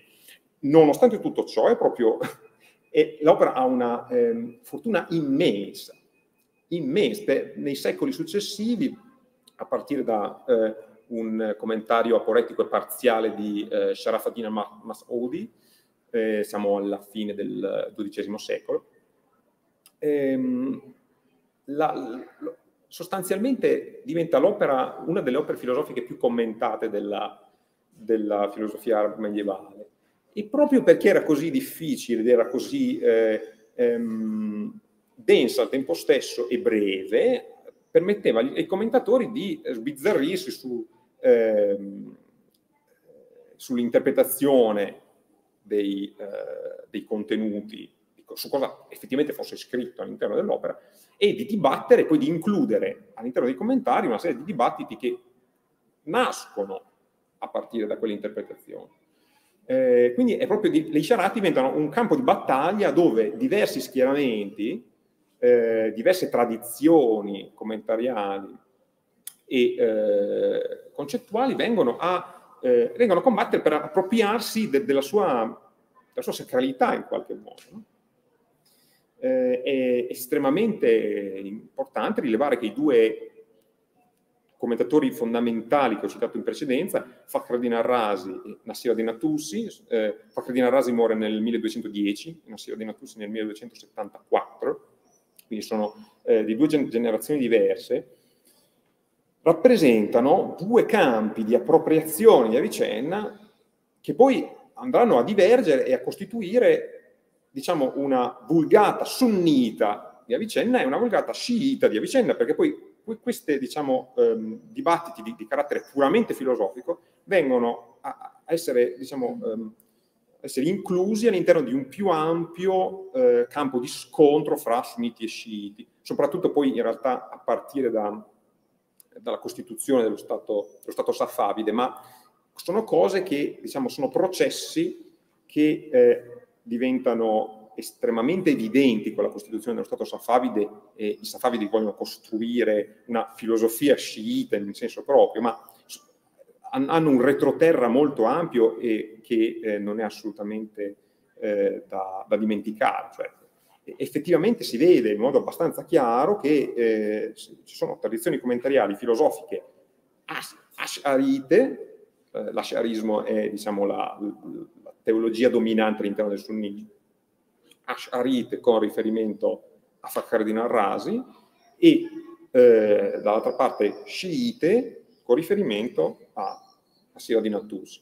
Questo non vuol dire che, non, che sono, siamo, siamo davanti a campi impermeabili, ma al tempo stesso è, è evidente ci siano delle, dei trend che eh, si, si, costituiscono e del fatto che eh, il, commentario, il, commentario, di Razi a, eh, a Vicenna è ehm, esplicativo per, una, per, un verso e aporetico per un altro, cioè Razi porta, porta una marea di obiezioni eh, a, ad Avicenna. Cosa fa Tusi? Tusi non ha lo stesso atteggiamento verso Avicenna, cioè verso Avicenna Tusi è veramente esplicativo, cioè presenta soltanto quello che Avicenna dice. Quello che, quello che tu si fa in termini eh, di eh, aporetica o di dialettica negativa è contro Razi, cioè il commentario di, il commentario di Tussi non è una spiegazione di Avicenna, no? quello è solo un elemento del commentario di Tussi. La maggior parte del commentario di Tussi è una refutazione di Razi. E quindi qua si può vedere come poi la, questo poi dà origine a una tradizione commentariale in cui ehm, ci sono metacommentari e super commentari, cioè ci sono le giudicazioni, cosiddette mohakamat, di una serie di autori che eh, valutano, si, si, si, mettono in, diciamo, in, in buona, nel cappello del giudice e, e valutano eh, se un certo, su un certo punto ha vinto Razzi o ha vinto Tussi. Così via, questo può andare avanti, può produrre un regresso all'infinito, ovviamente. Eh, fatto sta, tutti gli autori che decidono di fare del Mohakamat sono tutti autori della linea tussiana e quindi danno sempre ragione a Tussi alla fine. Quindi, insomma, cioè, è chiaro che poi ci sono una serie di... di eh, sono, eh, non, non, è propriamente una... una, una eh, non sono giudicazioni di, di, di, carattere spassionato, sono autori che hanno, hanno delle preco, pre, precomprensioni che ovviamente difendono certe posizioni e non altre. Avicenna comunque ha, il primato di essere il primo e forse l'unico ad avere dei super commentari anche in tradizione latina, perché ci sono i plus quam expositor che commentano Averroè, che commenta la prima fine della cantica di Avicenna, quindi cioè, l'unico che viene commentato e poi i suoi commentatori sì. vengono a loro volta commentati sì. per, per sì. la definizione. Eh, c'è una cosa che è curiosa però, perché oh, il, un testo che genera così, così grandi ambiguità e così diver, grandi divergenze interpretative si giustificherebbe se fosse un testo unicum. Però parallelamente abbiamo tutti i testi di Avicenna, cioè le, le sintesi, quelle più grandi, Kitab al-Shifa, Najat, la Daneshnameh, e sono molto grandi. E quelle, uno pensa, dovrebbero aiutare a chiarire in maniera molto più immediata, molto più facile il contenuto di questo testo. Ma c'è qualche cosa che in questo testo c'è in di più o manca rispetto a quelle summe e, e che rende il testo difficile da, da, da commentare. Cosa? Sì, sì, sì, ci sono degli, degli elementi che sono specifici di, di, di, questa, di questo, quest'opera come, come, il misticismo, la, la mistica, questo è un elemento eh, evidente. Eh, no, è vero che eh, gli autori, grandi commentatori non, eh, non prendono semplicemente dei sharap, le leggono e, e, danno una loro idea di quello che stanno leggendo. Questo è assolutamente falso. Sono tutti estremamente, ehm, estremamente eh, una comprensione estremamente profonda delle opere enciclopediche di Avicenna, Shifa in primis. Quindi, ma detto questo, non vuol dire che quelle opere a loro volta non siano eh, problematiche e, eh, il fatto che siano più ampie non vuol dire che i problemi che emergono, perché i problemi quando sono eh, reali non sono mai soltanto, diciamo, esegetici, sono anche concettuali. Cioè, eh, è chiaro che se, se, ci troviamo una certa, a vicenda formula un certo argomento in un certo modo e quel modo per il commentatore mm, concettualmente non tiene, il commentatore cercherà di ricostituire o di risemantizzare diciamo, i termini usati da vicenda per, per far sì che, che l'argomento abbia senso. Eh, quindi non è che i due elementi sono disgiungibili, eh? l'esegesi è disgiungibile dalla comprensione della, del, del, del, dei concetti, delle posizioni, delle tesi in quanto tali. Così che Razzi, per esempio, assume adesso entro un, entra un po' nel tecnico, la gente si spaventa, però cioè, assume una, certa, una concezione tipo realista riguardo alla distinzione senza esistenza e quindi concepisce gli argomenti di vicenda in un certo modo. Tu sì, no, e quindi ha una concezione tipo concettualista della distinzione senza esistenza e così deve eh, cercare di, di ricostruire gli argomenti di vicenda in un modo che abbia senso eh, sulla base di quel tipo di concezione che, tra parentesi, non ha base sulla, sulla vicenda su, su, sui testi di vicenda. Però per, al tempo in cui tu si scrive sembra una assurdità sostenere la distinzione reale fra senza esistenza, quelli che tu sì, non può certo criticare Vicenda su quel punto, perché a questo punto Vicenda è diventato un personaggio, è stata una figura che è troppo grande per, per, essere direttamente attaccata, almeno da un certo tipo di, di, di tradizione, e quindi bisogna mettere insieme una serie di, di, uh, di, di strumenti uh, per, uh, per, far quadrare tutto, sostanzialmente, far quadrare le leggi esegesi con con, con, con la, concettualità che intanto si è evoluta, no? Perché non è che, eh, non è che gli autori del XIII secolo hanno la stessa identica concettualità di Avicenna, è ovvio. Ecco, la parte mistica è probabilmente la parte più peculiare di questo testo e, e anche diciamo, la, più, la, più, la, più, controversa da un punto di vista esegetico. Ci sono gli studi di Gutash che contestano la presenza della mistica in Avicenna eh, e poi cioè, un dato materiale, cioè un'opera in cui c'è un termine mistico dedica metà dell'opera esatta a questioni di logica e silogistica. Quindi problema da un punto di vista esegetico ma anche da un punto di vista sistematico. Mm-hmm come la leggiamo questa mistica? O che significato le diamo? Se mistica è o qualcosa di simile che noi chiamiamo mistica? Sì. Anche qui prima di tutto bisogna capire cosa intendersi sul significato dei termini, altrimenti si fanno delle, delle eh, si, si, dicono delle fesserie. Ehm, cerchiamo di definire il termine in una maniera che può essere applicata a vicenda. Mistica come eh, una conoscenza di, che ha un carattere esperienziale, conoscenza di un certo contenuto, poi sarà Dio e quel che si vuole, che ha un, una dimensione esperienziale da un lato, ma non è A né mediata dalla sensibilità, né B mediata eh, dal discorso. Non è discorsivo, non, è, non, è, non, è, non richiede un, un ragionamento, può essere aiutata dal ragionamento, può essere, eh, il ragionamento ci può mettere in una condizione tale da ricevere tale conoscenza esperienziale, bla bla bla, però non è implicata necessariamente dal ragionamento. Quindi intendiamo mistica in questo modo, ok, se intendiamo mistica in questo modo, allora non c'è modo di evitare di dire che Avicenna, il pensiero di Avicenna ha un elemento mistico. Ora, che cosa vuol dire che il pensiero di Avicenna è un elemento mistico? È molto importante capire in che, in che senso estremamente ristretto, che Avicenna ha un elemento mistico in un senso estremamente ristretto, che è questo.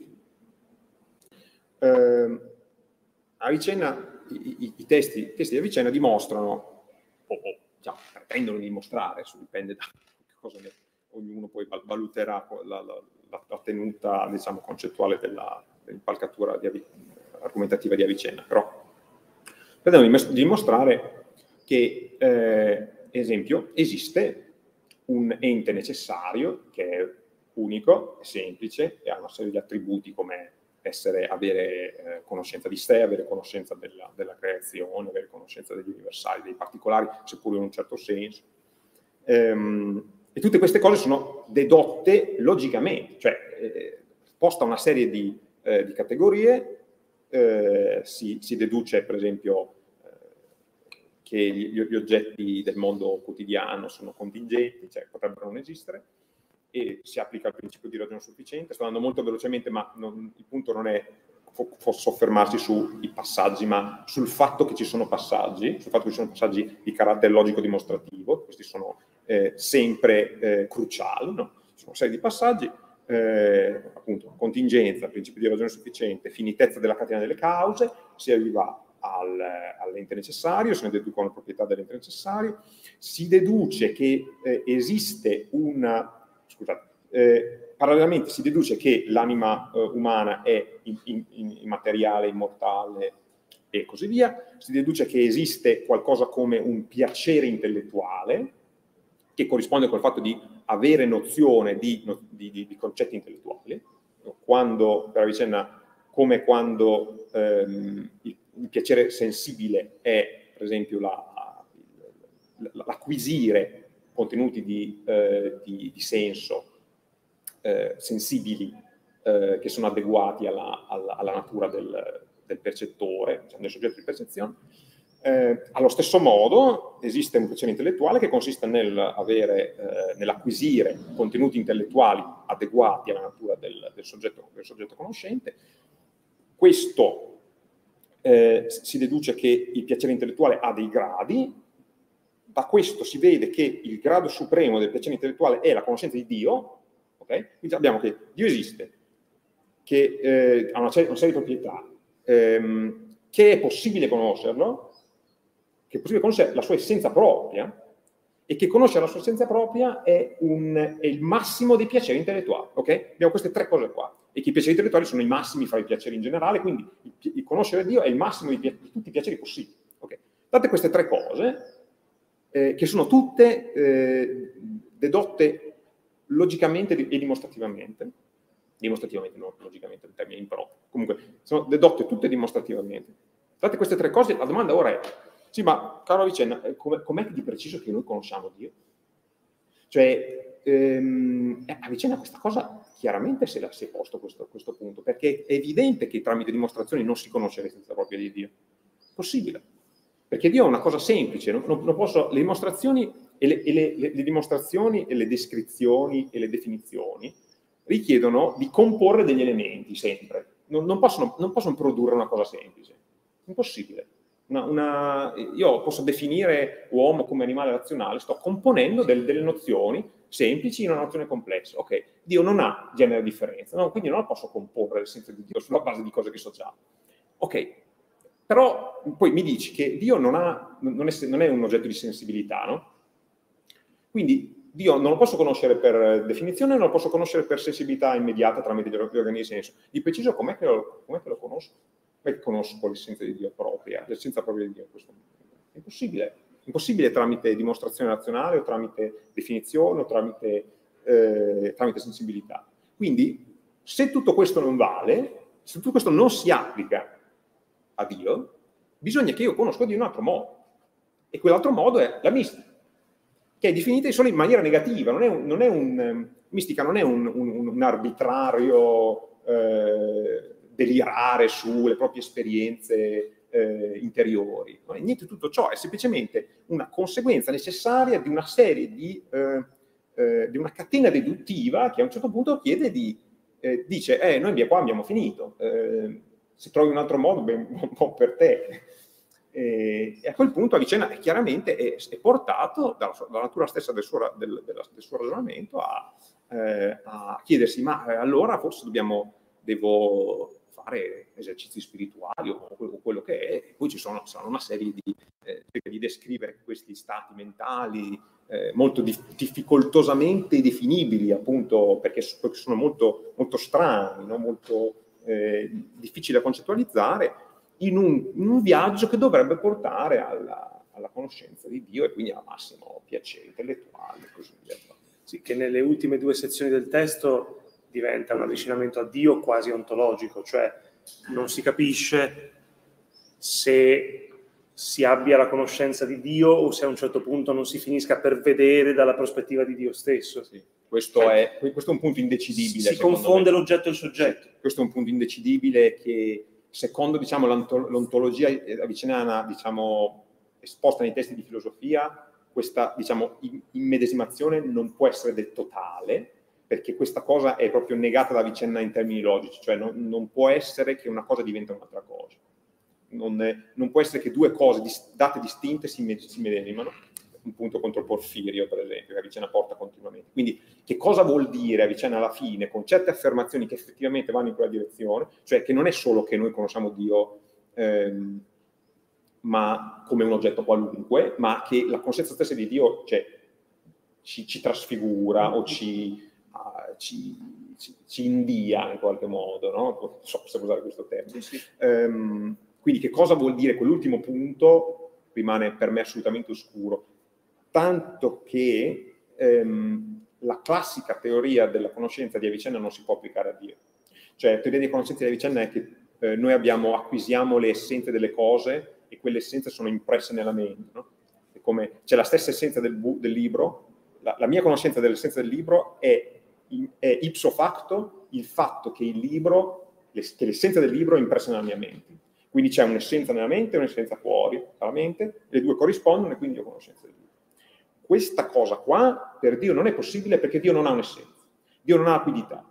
Cioè Dio non è una cosa in cui eh, posso distinguere l'essenza dall'esistenza, di nuovo torno all'essenza dell'esistenza, io non posso, non posso distinguere la natura propria di Dio dal fatto che Dio esiste, Quindi non è che io posso traslare una, una, una, una quiddità che sta fuori di me dentro di me, perché, perché, questa, perché non, non, non, c'è questa cosa, non, non, c'è questa differenza qua che permette l'atto di conoscenza. Quindi com'è che in Avicena si conosce, si conosce Dio è, una, è, un problema bello grosso, è un problema bello grosso in termini proprio della, della tenuta dell'ontologia e della teoria della conoscenza in quanto tale, ma detto questo, eh, Avicenna pa- pare, pare convinto che si possa fare o che si possa approssimare perché se, se, cominciamo a parlare di approssimazione allora tutto il discorso diventa molto più facile, però molto più facile ma anche molto meno interessante se si vuole. No? Ehm, mentre per esempio eh, ci sono alcuni autori che, che questi problemi cioè, li, li, tagliano alla, alla, radice, per esempio Faccradina Rasi dice non, non, non si può conoscere Dio. E quindi quest'ultima parte viene considerata... No, viene considerata il fatto, cioè per esempio Rasi dice si può conoscere Dio in maniera approssimata, appunto, cioè si può, Dio è infinito e non si può, eh, per, per, incrementi finiti non, non si può con, concepire un'infinità. Quindi l'unico modo con cui si può avere conoscenza totale di Dio è se Dio però la produce in noi tramite visione beatifica. Dove la visione beatifica però non ha, non ha, è un elemento tutta, totalmente passivo, cioè l'uomo è il soggetto di un'azione che Dio produce, un'azione misteriosa che Dio produce, in cui Dio produce conoscenza di sé nell'uomo. Però a quel punto non, è, non, è, non c'è una via mistica verso Dio, sì, perché sì. La, la, visione beatifica religiosa non ha questo aspetto di, ehm, di raggiungere un, un, punto finale tramite una... Sì, un percorso. Non è un, un percorso, è una, è una cosa di, di, grazia che viene, che viene concessa da Dio, oppure no. E. Non so se ci sono delle domande I mistici dicono effettivamente che Dio non si può conoscere attraverso la, né la logica, attraverso l'or- l'organo cervello, la mente, pensi attraverso l'organo che è il cuore, no? Attraverso l'esperienza intima. No, ehm, la cosa interessante che appunto diceva eh, Luca, che a un certo punto, cioè prima non c'erano queste tracce, diciamo, tra virgolette, del, de, della mistica nell'opera di Avicenna, ma verso la fine della, della sua vita. Qualcosa di simile succede anche a Abu Hamid al-Ghazali, che anche lui verso la fine della sua vita si avvicina al, al misticismo e mh, mm, pare che sia stato anche colpito da, da, su, da suo fratello Ahmad Ghazali che appunto era un mistico. Mm-hmm. E forse proprio perché eh, hanno, uh, sono arrivati al punto che mh, mm, Dio non, non, si riesce a conoscere. Mm-hmm. Sì. È, molto interessante il parallelismo e la distinzione fra Avicenne e Casali perché mm, direi che se per a vicenda, cioè se per Casali eh, c'è un fallimento in qualche misura della ragione, cioè la ragione una, in qualche misura non riesce a produrre conoscenza vera de, eh, de, di quello che davvero ci sta a cuore, diciamo. Ecco. Quindi eh, c'è questa una sorta di sfiducia eh, verso la ragione che pur Casali ha coltivato a, a più, ad altissimo livello nelle sue opere, quindi non sta parlando di autori che sono, diciamo, non razionalisti o irrazionalisti. No, c'è una quindi, sorta di sfiducia in Gasali che porta alla, a, a volgersi verso la mistica. In Avicena, paradossalmente, come se fosse il contrario, cioè è la vittoria della ragione che porta al misticismo, perché la vittoria della ragione è capace di mostrare tutto e di dimostrare anche che eh, Dio non si conosce tramite ragione e, bla bla bla. Cioè, è come se Avicenna e a Gasali arrivassero alla stessa, alla stessa conclusione, almeno per un certo aspetto, ma in, in, mo- in, modi che sono in realtà opposti, perché per Gasali il fallimento della ragione implica l'assunzione del misticismo, mentre per Avicenna è la vittoria della ragione che alla fine della, della, della catena eh, del ragionamento porta a andare fuori dalla, dalla ragione, in qualche modo. Un, un punto interessante, vale la pena parlarne. Insomma, il misticismo di Avicenna non è irrazionalismo. Non è, né viene da una sfiducia rispetto alla ragione eh, assolutamente, questo, questo, è assolutamente da, da, tenere presente, se no si fanno degli, degli errori valutativi, che forse sono un po' la, la, la, base, sono quello che ha spinto i grandi autori come Gutas a, a, a, a rifiutare ogni etichetta di misticismo nel, nel caso di Avicenna. Ma questi autori, secondo me, si sono concentrati troppo sulla teoria della conoscenza di Avicenna in, in generale, senza andare a vedere esattamente poi come questa teoria della conoscenza tende a disgregarsi davanti a Dio e quindi ipso facto a implicare qualcosa di più. No? E, e, questo riconoscimento è chiaro. Cioè, invece la, la, la, la, sezione sulla mistica dell'Isharat comincia con eh, una, una, un'asserzione riguardante chi è che comincia il viaggio mistico. Questi sono due tipi di persone. Dice. Quelli che sono armati di una fede incrollabile e quelli che hanno compiuto la certezza dimostrativa. Quelli che hanno compiuto la certezza dimostrativa sono in quanto tale all'inizio del, del percorso della mistica. Passiamo a stare in che modo gli altri possono essere all'inizio del percorso mistico, perché è un altro problema che per me non è perfettamente chiarito. Ma Cena dice, dice la cosa, cioè dice che il filosofo in quanto tale, in quanto ha completato la, eh, il percorso della ragione, è all'inizio del percorso della mistica. Eh, non so se da, da casa c'è qualcuno che ha... No, ci sono diversi ascoltatori connessi, ma ancora domande, domande non ci sono, per cui se eventualmente in presenza qualcuno vuole eh, porre delle domande può, può procedere. Ecco, domande, osservazioni. No, no, no con carità. No, no, no, faccio dopo, dopo casomai. Se non solo Presento un po' di fare un parallelo con... Carlo, se puoi venire qua, per favore, grazie.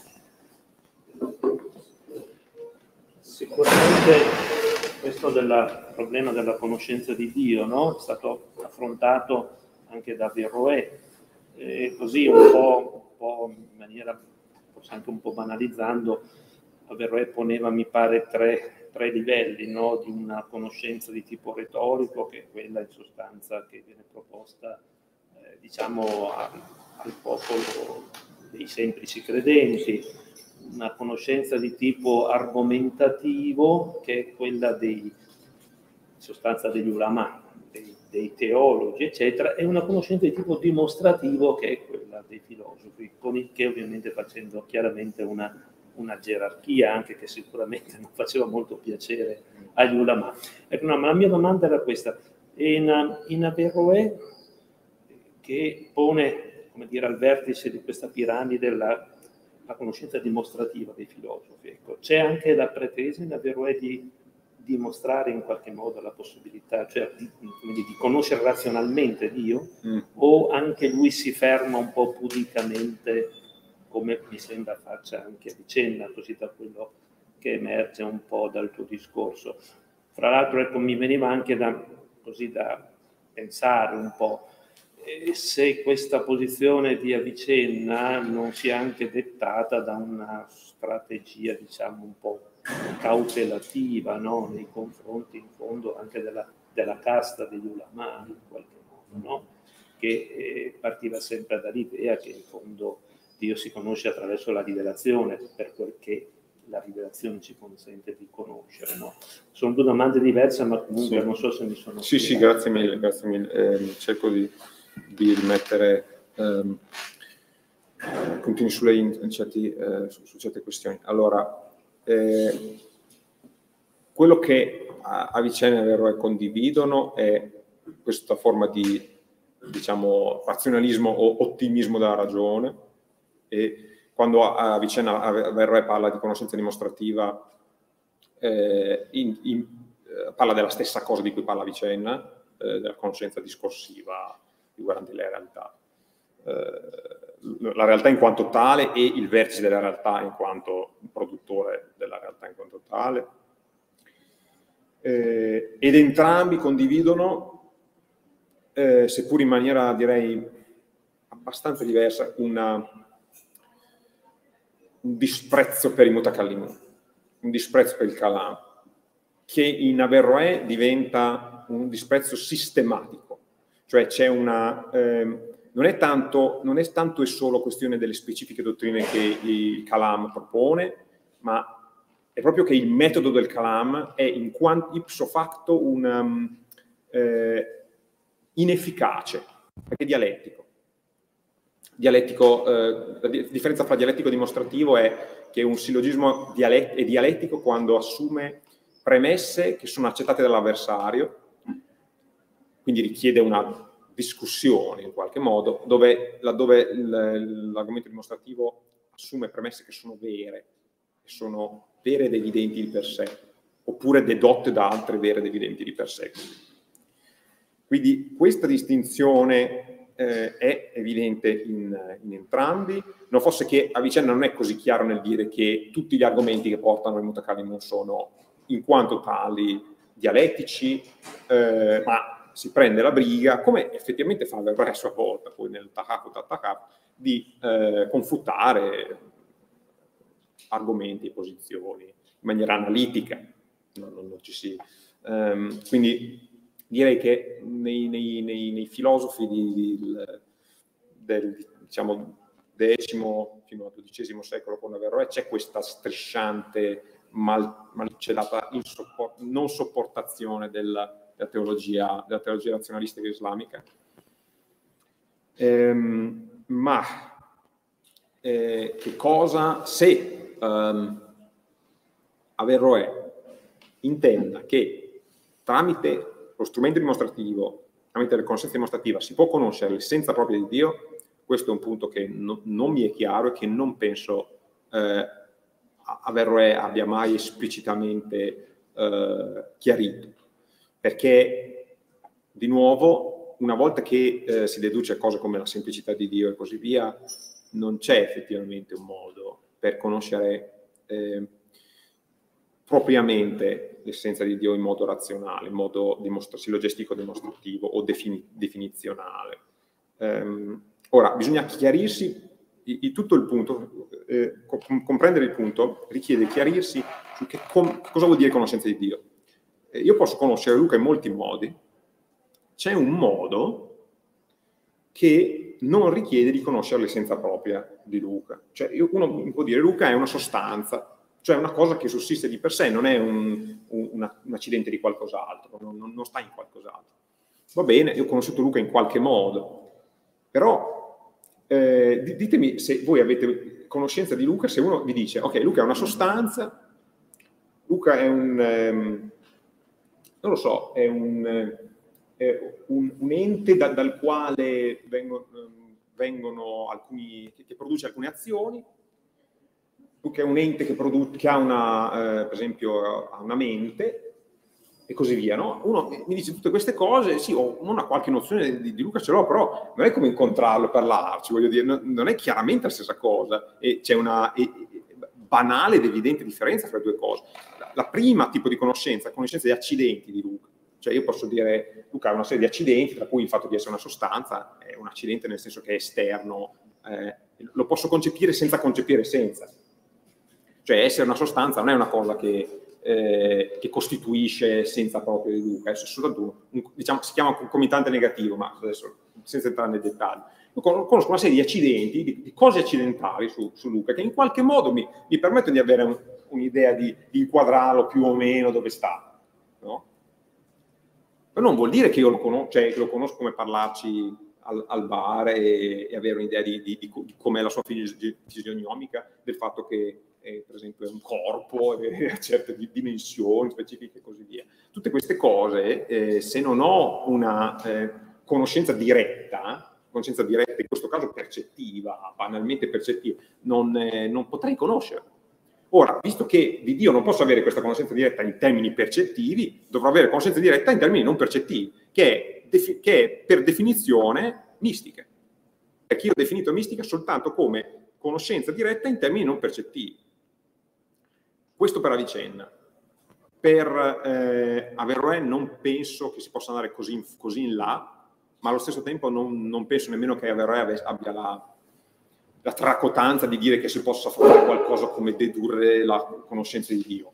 Assolutamente, non penso che abbia questo tipo di, di assurda, sostanzialmente irrazionale tracotanza di dire che si può dedurre o definire Dio, fare cose del genere. Non, non mi è mai capitato. Quindi distinguendole chiaramente diciamo, i, i, due tipi di, di, conoscenza che si può avere di qualcosa, si può capire che si possa avere una conoscenza di accidenti di qualcosa tramite dimostrazione razionale, ma non avere conoscenza dell'essenza o della propria natura di, qual- di quella stessa cosa tramite dimostrazione razionale, quindi a quel punto c'è un vuoto che deve essere colmato in qualche modo e di certo non può essere la sensibilità a colmarlo. Grazie comunque. E la, la secondo elemento della... No, vedevo se c'era così un aspetto, diciamo, cautelare. Ma sì, sì, sì, sì, sì, sì, sì. In, avicenda. In avicenda.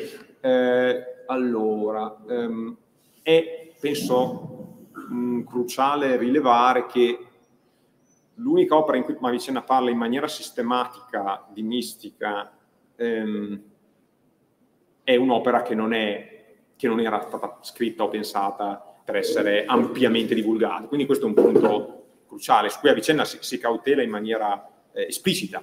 Dice quest'opera non deve essere, non deve essere condivisa con una, una serie di, di persone eh, che non vengono indicate, una serie di tipi di, tipi di personaggi, eh, quelli, che non, quelli, che sostanzialmente sono troppo stupidi per capire comunque quelli che prestano l'orecchio alla folla, qualunque cosa voglia dire questo, comunque leader religiosi che pronti a linciare la gente, probabilmente qualcosa del genere, e, e, e quelli che, dice, quei, quei miscredenti che pretendono di filosofare, quindi, con quei personaggi che eh, probabilmente la vicenda aveva presente alcuni, diciamo, quelli che lui considerava parafilosofi, ma magari personaggi libero pensiero, cose del genere. No, tutte queste categorie qui non le devono neanche vedere quest'opera.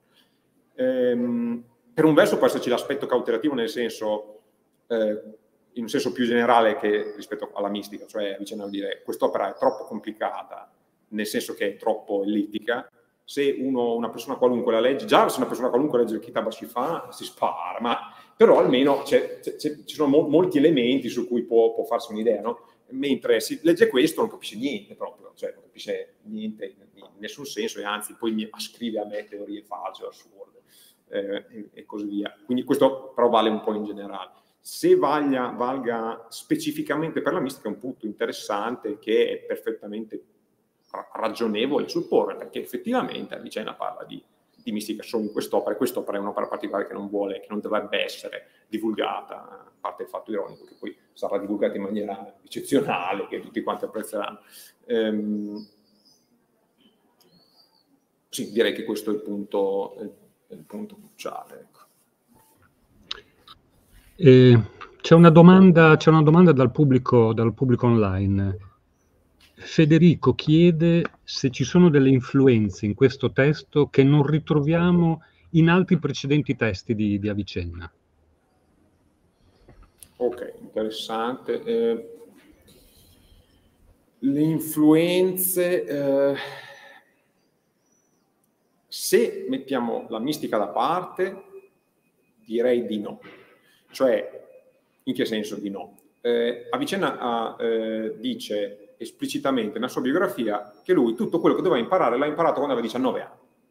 Ora, questo è chiaramente un'iperbole, ma non è totalmente un'iperbole. Cioè, quello che cioè, vuole dire è che, e che effettivamente noi vediamo nelle sue opere, che c'è una notevolissima, eh, ehm, diciamo, coesione fra le sue opere e che i suoi punti di riferimento principali rimangono sempre quelli, cioè eh, Aristotele, Farabi, eh, riferimenti eh, polemici espliciti o impliciti, per esempio esplicito è Porfirio, eh, impliciti, non so, Yahya ibn Hadi o altri.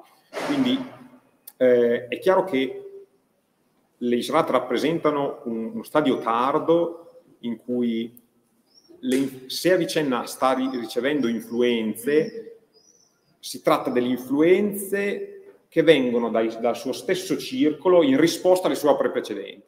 Quindi questo aspetto è assolutamente, direi, importante, che poi diventa, diventa più chiaro ancora in un'opera che si chiama il Mubahatat, cioè le discussioni, che è un'opera che è difficile decidere se scriverla da vicenda o al suo circolo in generale, in cui effettivamente ci sono discussioni di scuola e sulla base dei testi precedenti di Avicenna, per esempio Kitab Shifa, eh, una serie di, di, di, di autori come Bachmaniar e Ibn Zaila portano critiche eh, e si, eh, ad Avicenna, eh, ci sono risposte di Avicenna e così via. Quindi eh, è possibile che quest'opera risenta di una parte di quelle discussioni di scuola e che eh, sia stata, diciamo, sia un aggiornamento per, per alcuni aspetti. Questo assolutamente sì.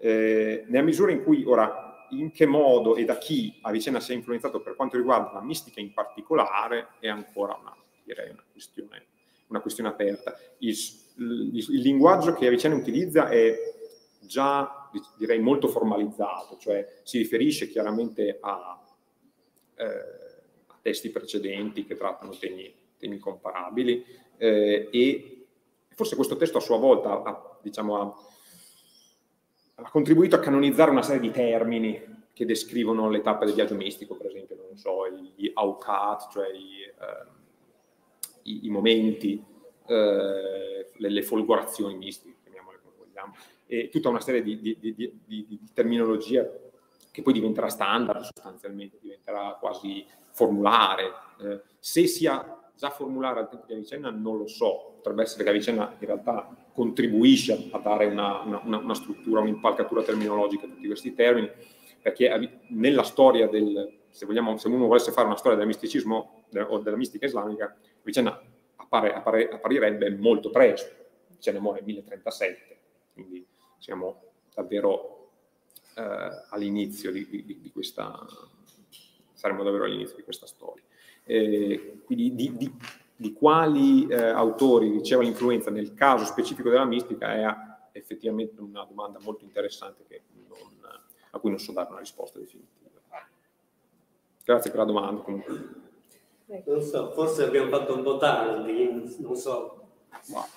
No, Comunque, c'è, c'è tempo, se abbiamo tempo, eh, chiedo scusa.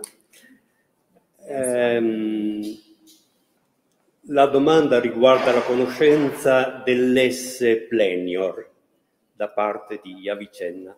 Allora, se per Avicenna questo è un problema, è un, una domanda a cui non dà risposta, se c'è questa specie di epocazione della conoscenza di questo esse plenior, allora anche tutto quello che ne consegue deve essere messo in epocazione, in sospeso, il giudizio non può essere dato. Quindi nulla dalla conoscenza di quelli che chiamiamo enti contingenti e dalla conoscenza anche della catena delle contingenze non possiamo trarre nessuna conclusione, quindi non si arriva da nessuna parte. Tutto resta un po' epocato e pertanto si rischia quasi di finire su posizioni di vacuità ontologica. Non possiamo dire nulla. Allora, ecco, perché mh, Avicenna non ha tratto questa conclusione così radicale e negativa su questa linea di riflessione? Seconda cosa però, eh, in qualche modo Avicenna cerca di arrivare a questo esse plenior, Ecco, parlare di mistica, magari, vabbè, eh, sono state date spiegazioni, parlerei di intuizione, di intuizione che è facoltà che pienamente esplicata, comunque appartiene alla nostra essenza umana. Mistica implica sempre un aiuto che viene dall'altro, da altro, dall'oggetto stesso di cui si cerca la conoscenza. Allora, parliamo di intuizione perché non è arrivato alla conclusione che la spiegazione, diciamo, che se c'è conoscenza dell'esse plenior non può che essere in un modo, ovvero eh, conoscenza diretta, immediata, assiomatica, intuitiva anche. Però è, questi, è l'intuizione, cioè è lo spirito che è capace di cogliere il più evidente degli oggetti di conoscenza. E perciò se si vuole fare un discorso che sia ontologia, bisogna partire da questo. Altrimenti si, non si arriva a nessuna conclusione. Lo dico anche, per esempio, sapete che in ambito cristiano ci sono stati molti tentativi di dimostrare, Sant'Anselmo, anche San Tommaso riprende queste cose, sono tutte cose che oggi non mi pare che vengono accettate, giustamente perché sono petizio principi, si, si pone che ci sia dell'essere quando si dubita che ci sia la condizione prima di ogni ente. Come si fa? Se non, non, se non c'è l'essere primo non ci può essere neanche l'essere derivato, no? Allora se, se, vogliamo fare un discorso ontologico, dobbiamo dire il nostro spirito è capace di queste intuizioni prima, immediata, assiomatica. L'unica assioma della mente umana è l'essere. Neanche in matematica ci sono più assiomi, ci sono postulati, convenzioni, eccetera. Ovviamente il dato sensibile non può essere assiomatico, può essere praticamente assumibile, ma quindi l'unico assioma a cui lo spirito umano può giungere è questa conoscenza prima. Quindi sarebbe interessante vedere come a questa approssimazione o a quest'idea a vicenda può essere o non essere pervenuto, insomma, ecco. Ok, grazie, grazie mille, tante questioni, non, non, non, potrò risolvere questi problemi in due parole, eh, potrò dire qualcosa, forse potrebbe essere utile, potrebbe non esserlo, eh, scopriamo. Eh, quindi il primo punto, per cercare di sintetizzare, il primo punto è se la teoria della conoscenza di Avicenna non vale per Dio, allora la teoria della conoscenza di Avicenna non vale in generale e quindi su quella teoria della conoscenza è stata costruita la stessa dimostrazione dell'esistenza di Dio e quindi una volta che si, si vede che la, che la, teoria della conoscenza di Avicenna non vale per Dio, non vale il, il, la condizione la, non vale quella teoria de, della conoscenza come condizione di, di, di, concepire la contingenza e poi la, il principio di sufficiente e poi la catena delle cause. Ok, il primo punto era questo. E il secondo punto è perché Avicena non ha concepito diciamo, la, l'immediatezza della... Non è fatto immediatamente nell'oggetto che cercava. Ok. E, allora, sono, sono, sostanzialmente connesse. La, allora, la, la prima è che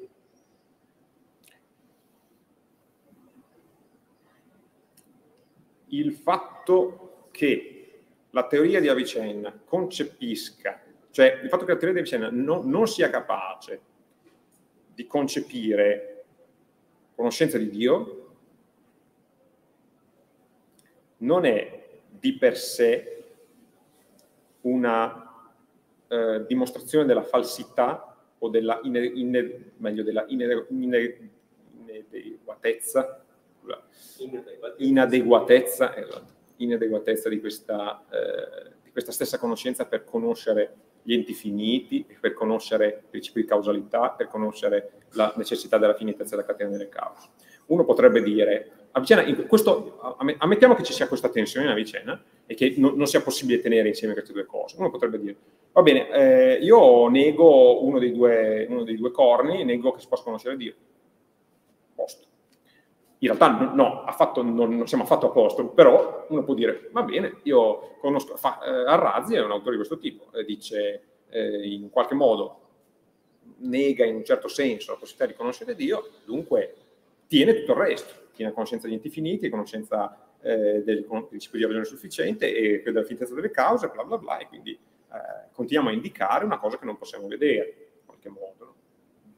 Eh, per un altro aspetto qualcuno potrebbe dire, io voglio invece tenere ehm, tutto quanto, l'implicante e l'implicato, e però a questo punto devo andare a vedere degli, quali delle proposizioni che costituiscono la teoria della, della, conoscenza di Avicenna è falsa. Non è che quando in, in scienza o in filosofia non funziona mai così che io arrivo a un problema e do fuoco a tutto.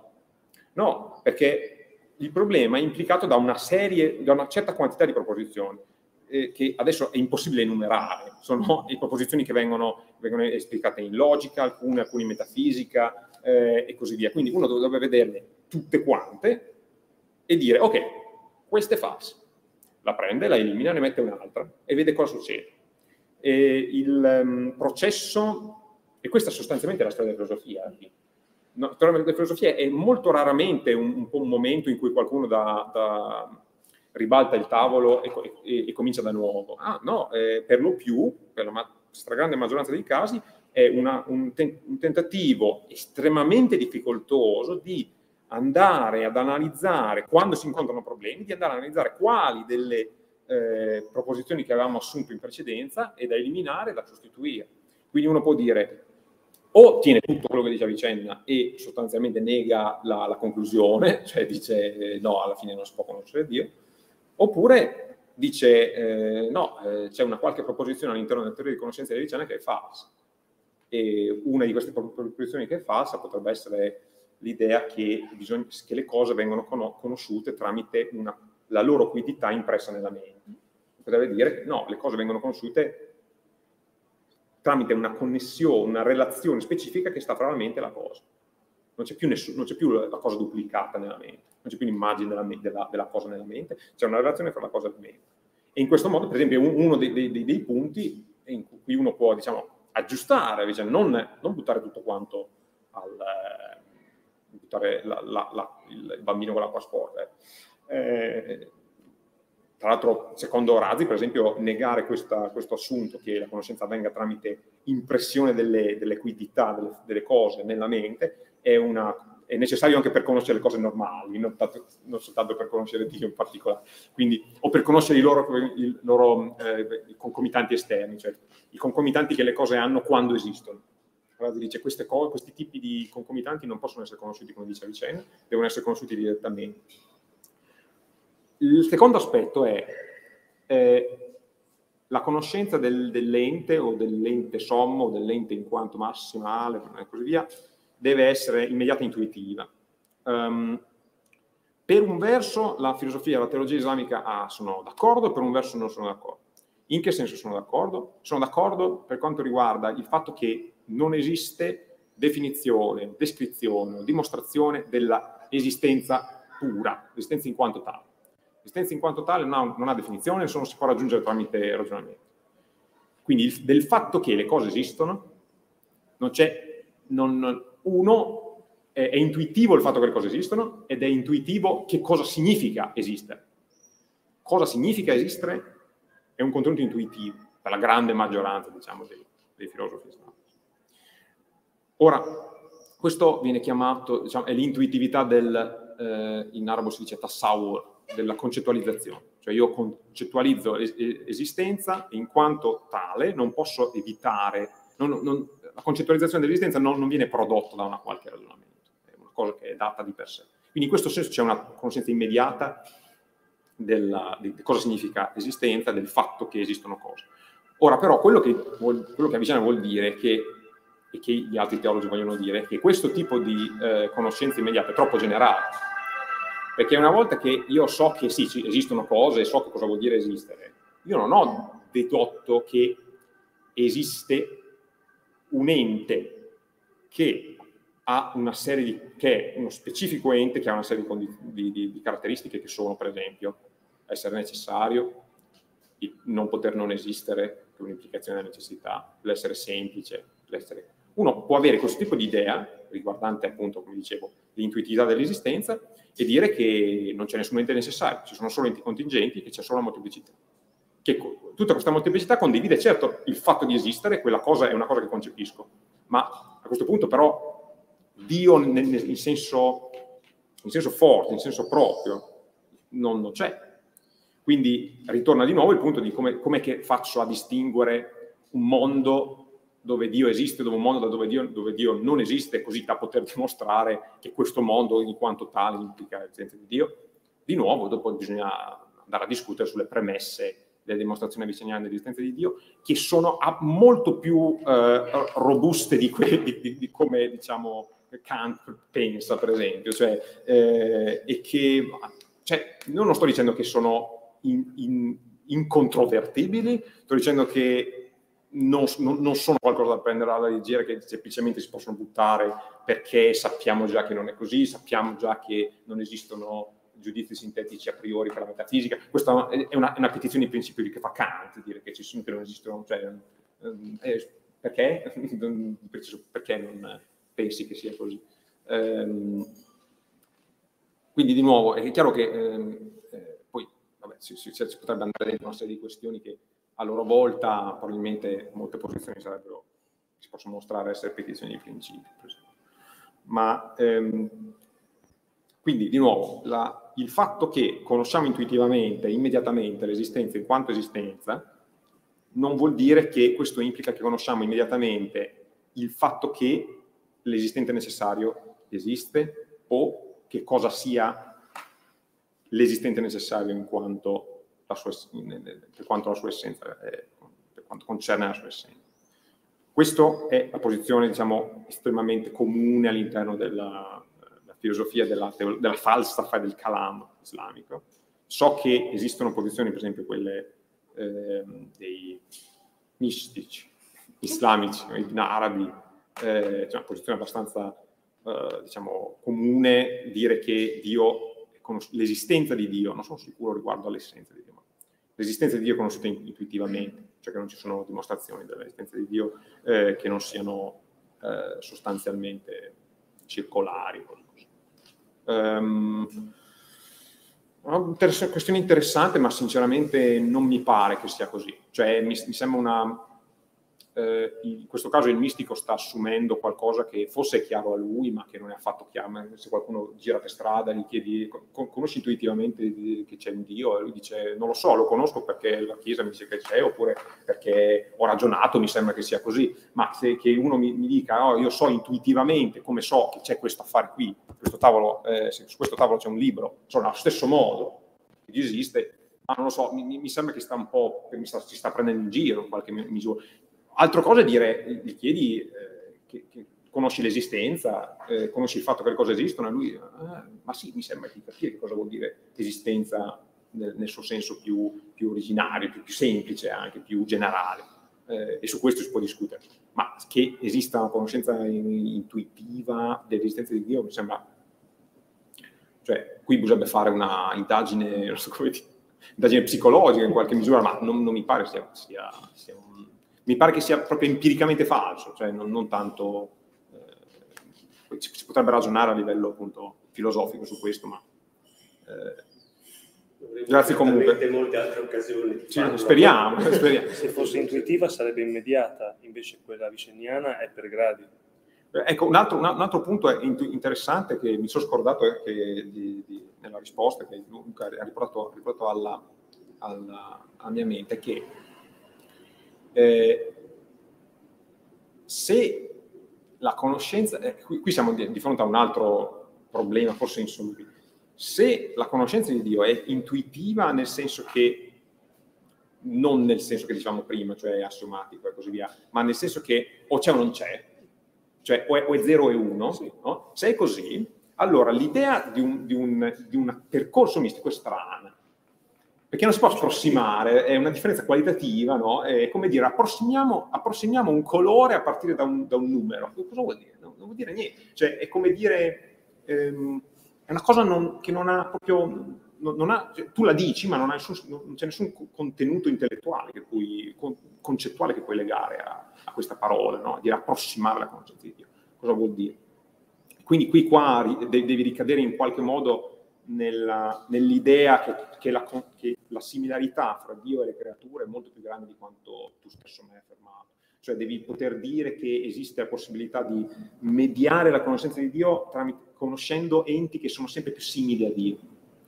Cosa vuol dire essere più, più o meno simile a Dio? Non lo so, ma questa è una cosa che devi fare, perché altrimenti l'idea che, che ci sia una gradualità in qualche modo nella, nel, nel percorso sia mistico-razionale, in questo caso non importa tra l'altro, eh, che ci sia una gradualità implica che ci sia differenza di quantità e differenza di quantità la puoi fare soltanto se c'è una similarità fra gli oggetti in questione. Quindi, scusate, sto un po' eh, eccessivamente concettualizzando tutto quanto, ma era, gra- grazie veramente infinitamente, eh, sono degli spunti fin troppo grandi per me, purtroppo bisognava chiederlo a lui quando era vivo, quando... io, io non questo è il bagno per i tuoi denti. Eh sì, bravissimo. Certamente la farai. L'idea di una, faccio un piccolo parallelo con una certa di letture, sai che sono interessato in poesia mistica, una delle Puoi vedere qui, Carlo? Eh, già noi sentiamo male. Dicevo, a proposito di conoscenza intuitiva, qualcosa che ci va molto vicino, ma parlo un po' così da persona che si è interessata di letteratura, no? è quel concetto che in arabo è Daug e in persiano è Zouk. È una parola chiave della, della poesia mistica persiana. Conoscere Dio significa, Zaug ha un significato di assaporamento, no? sapore, gusto, no? Eh, e si va molto vicino a questa idea, no? conoscenza immediata e, e anche con un linguaggio che chiama in causa incredibilmente l'aspetto sensoriale. No? esattamente questo, sapore, saporamento. No? In Avicenna però questo termine, che tu sappia, non, non ricorre assolutamente, oppure c'è qualcosa, mm-hmm. ecco questa era un po' la Ok, sì, sì, sì. Allora, eh, questo termine non è, diciamo, non è cruciale per la vita, non è, una, non è, una, non è un, un, un, termine cardine della, eh, della concettualità di Avicenna in questo senso, però è chiaro che il concetto che si cerca di esprimere tramite quel, quel termine è sostanzialmente, è sostanzialmente, lì, perché di nuovo eh, il mistico quando dice eh, c'è l'auc di Dio non sta dicendo che sta dicendo che c'è una conoscenza anche qua eh, i termini possono, possono, confondere perché immediato può voler dire un'altra cosa, eh, qualcosa di cui parlavamo prima, ma eh, esperienziale. Ecco, dove esperienziale, eh, per rendere l'esperienzialità di quella conoscenza, devo usare dei correlati che sono sensibili. Ma questo non vuol dire che quell'esperienza è sensibile, sto dicendo che è esperienziale e che non è mediata dal ragionamento. Può essere mediata da altre cose, può essere mediata da una serie di atti che ho, che ho, che ho in, in che, ho, prodotto in precedenza per dispormi in una condizione mentale tale da poter acquisire questa cosa, no? gli esercizi spirituali, tutte queste cose. Quando, dico, quando si dice immediata, eh, bisogna appunto qua intendersi, cioè non, non vuol dire che io l'ho ottenuta per caso, vuol dire no, l'ho ottenuta, eh, è una, una, una, una conoscenza esperienziale non mediata logicamente, e non sensoriale che io ho ottenuto, cioè, dice il mistico, poi che l'abbia fatto davvero, io lo faccio sapere, è, un, è, è, la, è una scatola nera sostanzialmente, non, non, non posso né, né, negarlo né affermarlo, in quanto filosofo, diciamo, in quanto, eh, o, chi, o, anche lo scienziato non può dirlo, lo scienziato vede solo fuori dalla mente, non vede mica dentro. Eh, dice, avuto questa conoscenza esperienziale, non, logicamente non mediata, ma magari mediata da una serie di atti eh, fatti, non so, il Zikr, oppure il eh, Zikr sarebbe la, la memorazione del nome di Dio, oppure tramite la, la concentrazione, eh, diciamo, yogica, non lo so, o di, di, di altre, altre, tradizioni che hanno chiaramente concettualità diverse, ma su cui uno potrebbe porre dei parallelismi. Quindi sì, cioè in qualche modo per forza di cose Avicenna è, è costretto dal, dalla, dalla, logica, dalla sua stessa logica a concepire la conoscenza di Dio in questo modo.